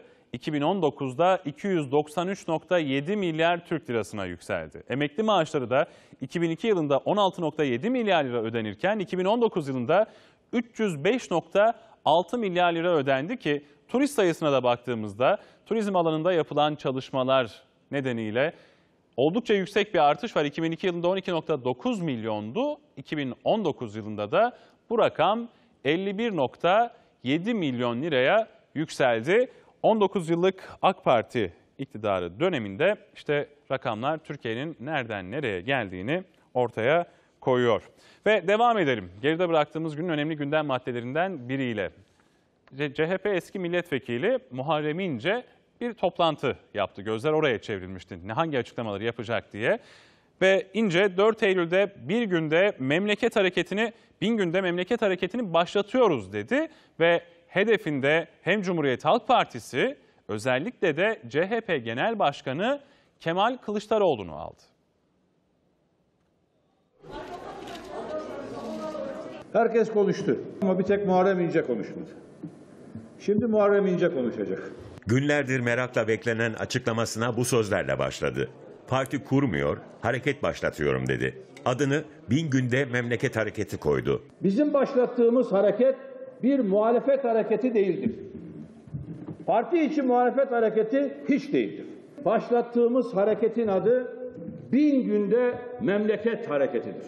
CHP eski milletvekili Muharrem İnce Ankara'da bir otelde geçti kameraların karşısına. Yol haritasını yarım saat süren basın toplantısında açıkladı. 4 Eylül'ü işaret etti. 4 Eylül'de Sivas Kongresi'nin yıl dönümünde Sivas'ta olacağız. 4 Eylül'de memleket hareketini hep birlikte başlatacağız. Atatürk düşmanları olmayacaktır. 24 Haziran seçimlerinde 13 bin sandıkta CHP'nin gözlemcisi olmadığını iddia etti İnce. Eleştiri oklarının hedefinde Kılıçdaroğlu yönetimi vardı. 13 bin sandıkta Cumhuriyet Halk Partisi'nin gözlemcisi yok. Seçim ikinci tura kaldı dediler. 4 milyon oyu sokağa bırakmışlar. Benden yalan söyleyip milletin karşısına çıkmamı istiyorlar. Nasıl çıkacağım ben? Seçim sürecinde yalnız bırakıldığını söyledi İnce. Sözleri sertti. 14 milletvekilinin hepsine tırpan çekilmiş. Bir Kemal Bey'in reklamı bir benim reklam. Ya Kemal Bey'in reklamını neden veriyorsunuz Sayın Kılıçdaroğlu? Aday değil ki o. Aday benim. Talimat veriyorlar gazetelere, televizyonlara. Benim reklamlarımı kesiyorlar. Bu psikoloji altında bana miting yaptırıyorlar. Kazanmasın diye ellerinden geleni yapıyorlar. İnce CHP'nin iktidar iddiası olmadığını dile getirdi. Kılıçdaroğlu'na yönelik eleştirilerini sürdürdü. Bizim genel başkanın öyle bir iddiası var mı? Ben mi duymadım? Böyle bir iddiası yok ki. Böyle bir iddiası yoksa CHP'nin iktidara yürüdüğü de hayal demektir. Sözü yerel seçimlere getirdi. HDP gerçeğini hatırlattı. İstanbul'u, Ankara'yı, Adana'yı, Mersin'i, Hatay'ı, Antalya'yı bize Kürt vatandaşlarımız kazandırdı. CHP'de rant baronları var dedi İnce. Parti yönetimini işaret etti. Saray bunu destekliyor diyenler CHP içindeki rant baronlarıdır. Sık sık Kılıçdaroğlu'na hedef aldı Muharrem İnce. Cumhuriyet Halk Partisi'nin genel başkanı bir konuşmacıyı dahi dinlememiştir. Kadın kolları kurultayına ise katılma zahmeti dahi göstermemiştir. Kurultayın seçmediği parti meclisi üyesini iki satırlık bir yazıyla siz seçmezseniz seçmeyin ben genel başkan yardımcısı görevini ona veririm diyerek kurultay iradesini de tanımayan bir genel başkanımız var artık. Ömrüm CHP zihniyetiyle mücadele etmekle geçti diyen dostlarına değil, önce kendi gücüne ve kendi evlatlarına güvenmelidir. İnce toplantının ardından soru almadan salondan ayrıldı. İnce'nin bu açıklamalarının ardından tabii ki sorular ardı ardına sıralandı. Muharrem İnce'nin bu hareketi yeni bir e, yol mu belirletecek? Yeni bir parti mi kuracak? Yoksa CHP'den ihraç mı edilecek gibi sorular vardı. İşte o soruları da hem siyasetçiler hem de Ankara gazetecileri A Haber ekranlarında değerlendirdi. Şimdi buraya dosyayı koyamayız. Bunları nasıl koydunuz? CHP'nin yaşadığı kimlik krizinin bir sonucu olarak bugün e, Muharrem İnce'nin pozisyonunu e, okumak gerekir. Muharrem İnce kameraların karşısına geçti, CHP'yi eleştirdi. Partiden ayrılmadan partiyi eleştiren İnce, bin günde memleket hareketini başlatacağını duyurdu. Akıllarda ise tek bir soru vardı. Bu adımlar CHP'yi bölecek mi? E, Cumhuriyet Halk Partisi'nin e, üzerinde siyaset yaptığı sosyolojik e, tabanda ciddi bir eksen kayması ortaya çıktı. Muharrem İnce'nin dile getirdiği şey CHP'yi tekrar kendi eksenine oturtma iddiası. Ya Muharrem İnce CHP'yi bir çizgiye getirecek. Bu Türkiye'de siyasetteki asimetrinin ortadan kalkması ve hakikaten etkili bir muhalefette daha rekabetçi bir siyasette demokratik kalitenin yükselmesi bakımından fayda sağlayabilir. Ya da memleketine Yalova'ya gidip tavuklarıyla, torunlarıyla vakit geçirir. İki tane seçenek var şu anda. Muharrem İnce'nin bu hareketi başlatma gerekçesi işte kurultay salonunda tuvaletin yanına oturtulması ya da işte salonda kendisine bazı nahoş ifadelerle delegelerin sataşması falan değil. Yani bunlar aslında bir şehir efsanesiydi. Yani Muharrem İnce'yi bu harekete e, yönelten faktörler çok farklı. İnce'nin açıklamalarını siyasetçiler ve Ankara gazetecileri değerlendirdi. Muharrem İnce hala CHP içindeymiş gibi bu mücadeleyi sanki CHP içinde verecekmiş gibi bir görüntü sergilese de bence şu anda kendisini partiden ihraç ettirmeye çalışıyor. Bin günde memleket dedi Muharrem İnce. Bu hareketin ne anlama geldiyse akıllara takılan sorular arasındaydı. Muharrem İnce tabii önemli bir figür ama e, parti içinde e, Sayın Kılıçdaroğlu tarafından itibarsızlaştırılan, itilen, kakılan bir figür. Yani zaten e, Cumhurbaşkanlığı adaylığına da e, bir e, umut olsaydı Sayın Kılıçdaroğlu'nun Muharrem İnce'yi göstermezdi. Başka bir ismi gösterirdi. Parti içindeki bazı gazları almak için, sıkıntılara gidermek için Muharrem İnce'yi Cumhurbaşkanı adayı olarak gösterdi ve e, arkasında da durmadı. CHP Atatürkçü, ulusalcı kesimi kaybederken İnce direkt olarak oraya hitap etti. Muharrem İnce'nin aslında e, sözcülüğünü yaptığı kanat bu dostlar Kemal Kılıçdaroğlu'nun bugünkü e, Cumhuriyet Halk Partisi'ni yöneten e, lider ve Son ekibinin e, dışladığı kesimin aslında bir adres aramasıyla e, bağlantılı. Parti kurmadan parti kurdu diye yorumlanan eski Cumhurbaşkanı adayı Muharrem İnce'nin siyasi farklılık oluşturmamış olması ise eleştirildi. Satır aralarına baktığınız zaman da parti kurmaktan farkı olmayan bir siyasi yürüyüşe çıkıyor. Ve önemli haberleri şimdi peş peşe hemen aktaralım sizlere. İstanbul Esenyurt'ta bir operasyonda şüpheliyi yakalamak isterken yüksekten düşerek ağır yaralanan polis memuru Hakan Çetinkol 3 ay süren yaşam savaşını maalesef kaybetti. Yüksekten düşen polis memuru Hakan Çetinkol şehit oldu.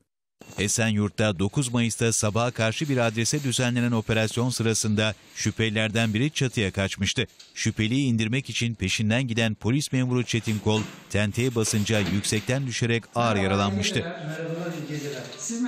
Evli ve iki çocuk babası 44 yaşındaki Hakan Çetin Kol yaklaşık 3 ay süren yaşam mücadelesini kaybetti. Emniyet Genel Müdürü Mehmet Aktaş şehit olan polis memuru Hakan Çetinkol için başsağlığı mesajı yayımladı.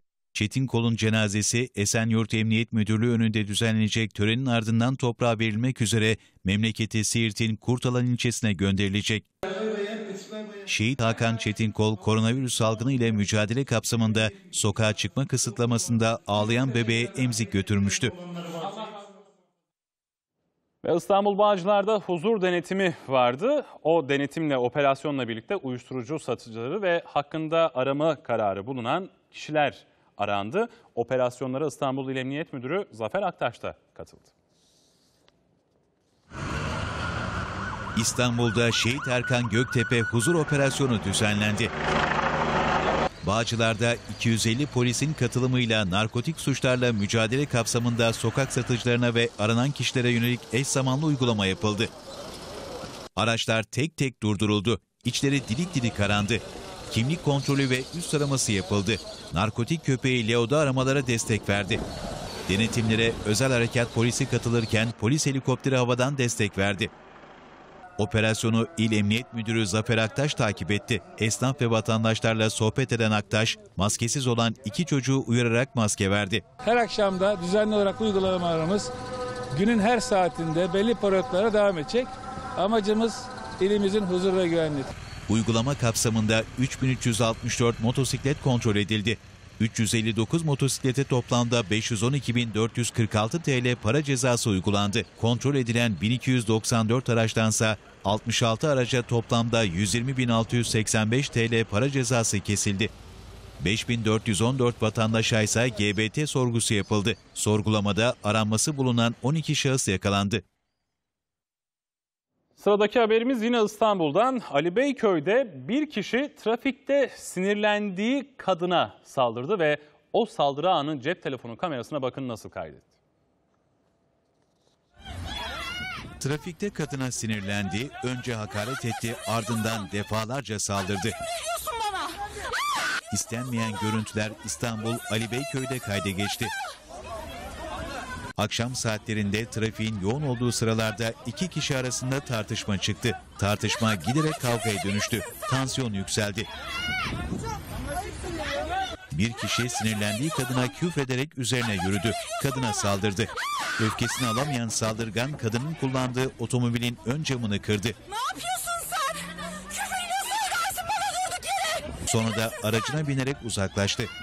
Uğradığı saldırıyla büyük panik ve korku yaşayan çaresiz kadını çevredekiler güçlükle sakinleştirdi. Görüntülerin sosyal medyada yayınlanmasının ardından saldırgana tepki yağdı.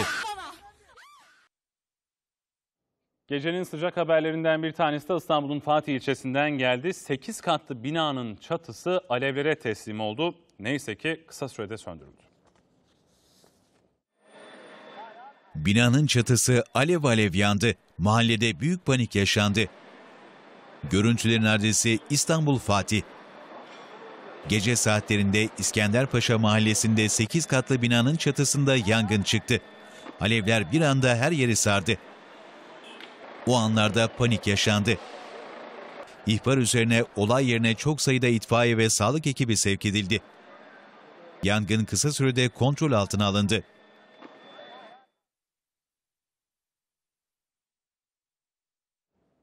Sabah ajansına gazetelerle devam edelim. Türk Gün Gazetesi'ne bakalım. Türk Gün Gazetesi manşetine hangi haberle çıktı? Hemen aktaralım sizlere. Hakkımızı yedirtmeyiz. Cumhurbaşkanı Tayyip Erdoğan Akdeniz'de gerginliği artıran Türkiye değil, Türkiye'yi ve Kuzey Kıbrıs Türk Cumhuriyeti'ni yok saymaya çalışan Rum ve Yunan zihniyetidir açıklamalarına yer vermiş. Bu arada her şeye karşılar attıkları her adımda hayata geçirdikleri her reformda karşılarında ilk önce CHP ve ortaklarını bulduklarını belirten Erdoğan, CHP Genel Başkanı 15 Temmuz'da milletin gururuna ortak olmak yerine yine kışkırtma ve yalan siyasetiyle bunu gölgelemeye çalıştı. Tasfiye, tavsiyemiz 15 Temmuz sendromunu sağa sola çamur atarak değil, şüphe bulutlarını ortadan kaldırarak aşmaları ifadelerini kullandı Başkan Erdoğan. Türkiye Kuzey Kıbrıs Türk Cumhuriyeti ile birlikte açıklaması var. Başbakan Ersin Tatar'ın Türkiye ve biz Doğu Akdeniz'de hakkımızı yedirmeyiz. Haklarımızın müdafasında Türkiye ile %100 uyumlu hareket etmek tek felsefemiz dedi Kuzey Kıbrıs Türk Cumhuriyeti Başbakanı Ersin Tatar. Devam edelim. Azerbaycan yalnız değil. Milli Savunma Bakanı Hulusi Akar, Genelkurmay Başkanı Orgeneral Yaşar Güler ve kuvvet komutanları Azerbaycan'da iki ülke arasındaki ortak askeri tatbikatı izledi ve Bakan Akar, Hocalı'da tüm dünyanın gözleri önünde soykırım yapan Yukarı Karabağ'a hiçbir hukuki gerekçe ve meşruiyete, meşruiyete dayanmadan işgal eden Ermenistan'a karşı tüm imkanlarımızla Azerbaycan'ın ve Azerbaycanlı silah arkadaşlarımızın sonuna kadar yanındayız. Azerbaycan yalnız değildir. Hala takmıyorlar. Sağlık Bakanı Fahrettin Koca'nın yaptığı açıklamaya göre son 3 gün içerisinde vaka sayısında artış görülen iller arasında Konya'da var. Buna rağmen vatandaşların önemli bir kısmı hala maske ve sosyal mesafe kurallarına uymamakta ısrar ediyor denilmiş. Bakan Koca'nın da öğrencilere bir uyarısı var. Bu virüs size de bulaşabiliyor. Sizden bir büyüğünüze geçtiğinde onun sağlığını bozuyor. Kurallara uyun, uymayanları uyarın demiş Sağlık Bakanı Fahrettin Koca yaptığı o uyarıda. Ve devam edelim dünyanın gözünün çevrildiği bir başka noktayla Lübnan'da. Lübnan'da e, yaralar sarılmaya devam ediyor Beyrut Limanı'ndaki patlamanın ardından. Hatta geçtiğimiz günlerde Beyrut Limanı kısmi olarak faaliyete geçmişti. Bu arada Beyrut Limanı çevresinde yapılan çalışmalarda patlamanın bir aracı sürücüsüyle denize fırlattığı ortaya çıktı. Korkunç patlama otomobili sürücüsüyle beraber denize fırlattı. Görüntüler yaraların sarılmaya çalışıldığı Lübnan'dan. Başkent Beyrut'tan yürek burkan görüntüler gelmeye devam ediyor. Bölgede devam eden kurtarma çalışmalarında patlamanın şiddetiyle denize savrulan bir otomobil bulundu. Vinç yardımıyla kıyıya çıkarılan aracın sürücüsü ise hayatını kaybetti. Yaşamını yitiren sürücünün kimliğinin tespitine yönelik çalışmalar sürüyor. Beyrut limanında gerçekleşen şiddetli patlamada 177 kişi hayatını kaybetmiş, 6000'den fazla kişi de yaralanmıştı.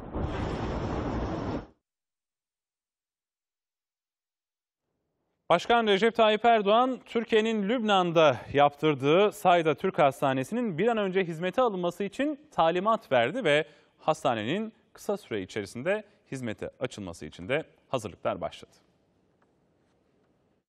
Kendilerine de söyledik. Gerekirse biz size doktorları da göndermek suretiyle hem burada doktoru yetiştiririz hem de belli bir süre bizim bu doktorlarımız burada bu hizmeti sizlere verirler. Başkan Erdoğan talimat verdi. Lübnan'da yaptırılan Türk Hastanesi'nin hizmete açılması için hazırlıklar başladı. Beyrut limanında yaşanan patlama sonrası Türkiye harekete geçti. Lübnan halkının yaralarının sarılması için yardım çalışmaları hız kesmeden devam ediyor. Türkiye tarafından inşa edilen Sayda Türk Hastanesi yaklaşık 10 yıl önce tamamlandı. Ancak hizmete alınmadı. Patlama sonrası tekrar devreye giren Başkan Erdoğan, Türk Hastanesi'nin bir an önce hizmete açılması için talimat verdi. Sağlık ve Gıda Politikaları Kurulu Başkan Vekili Profesör Doktor Serkan Topaloğlu özel temsilci olarak görevlendirildi. Başkent Beyrut'ta temaslarına başlayan Topaloğlu ve beraberindeki heyet Lübnan Başbakanı Hassan Diab tarafından kabul edildi. Başbakan Diab görüşmede Beyrut limanındaki patlama sonrası yaraları sarmaya yönelik gösterdiği ilgi ve dayanışmadan dolayı Başkan Recep Tayyip Erdoğan'a teşekkür etti. Amerikan basının önemli bir iddiası vardı. Geride bıraktığımız gün Washington'la Tahran arasındaki gerginliği had safhaya çıkaracak bir duyuruydu bu. Washington yönetiminin Venezuela'ya petrol taşıyan 4 İran tankerine el konulduğu belirtildi. Amerika Birleşik Devletleri ile İran arasında ipler yeniden gerildi. Washington yönetimi Venezuela'ya petrol taşıyan İran'a ait 4 tankere el koyduğunu bildirdi. Gelişmeyi Amerikan merkezli Wall Street Journal duyurdu. Haberde İran'a ait 4 petrol tankerine açık denizde el koyulduğu ifade edildi. Gemilerin Teksas eyaletine getirilmek üzere yolda olduğu kaydedildi. Haberde ayrıca gemilerin İran'a uygulanan ekonomik yaptırımları deldiği gerekçesiyle alıkonulduğu belirtildi. Washington yönetimi nükleer anlaşmaya uymadığını savunduğu İran'a ağır yaptırımlar uyguluyor.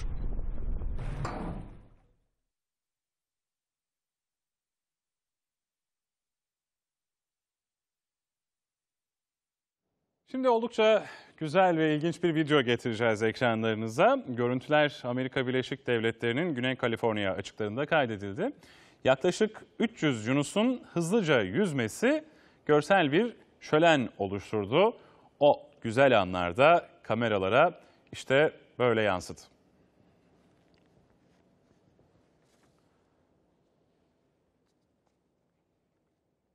Bu güzel görüntüler dediğimiz gibi Amerika Birleşik Devletleri'nin Güney Kaliforniya açıklarında kayda geçti ve Yunusların hızlı yüzmesi görsel bir şölen oluşturdu.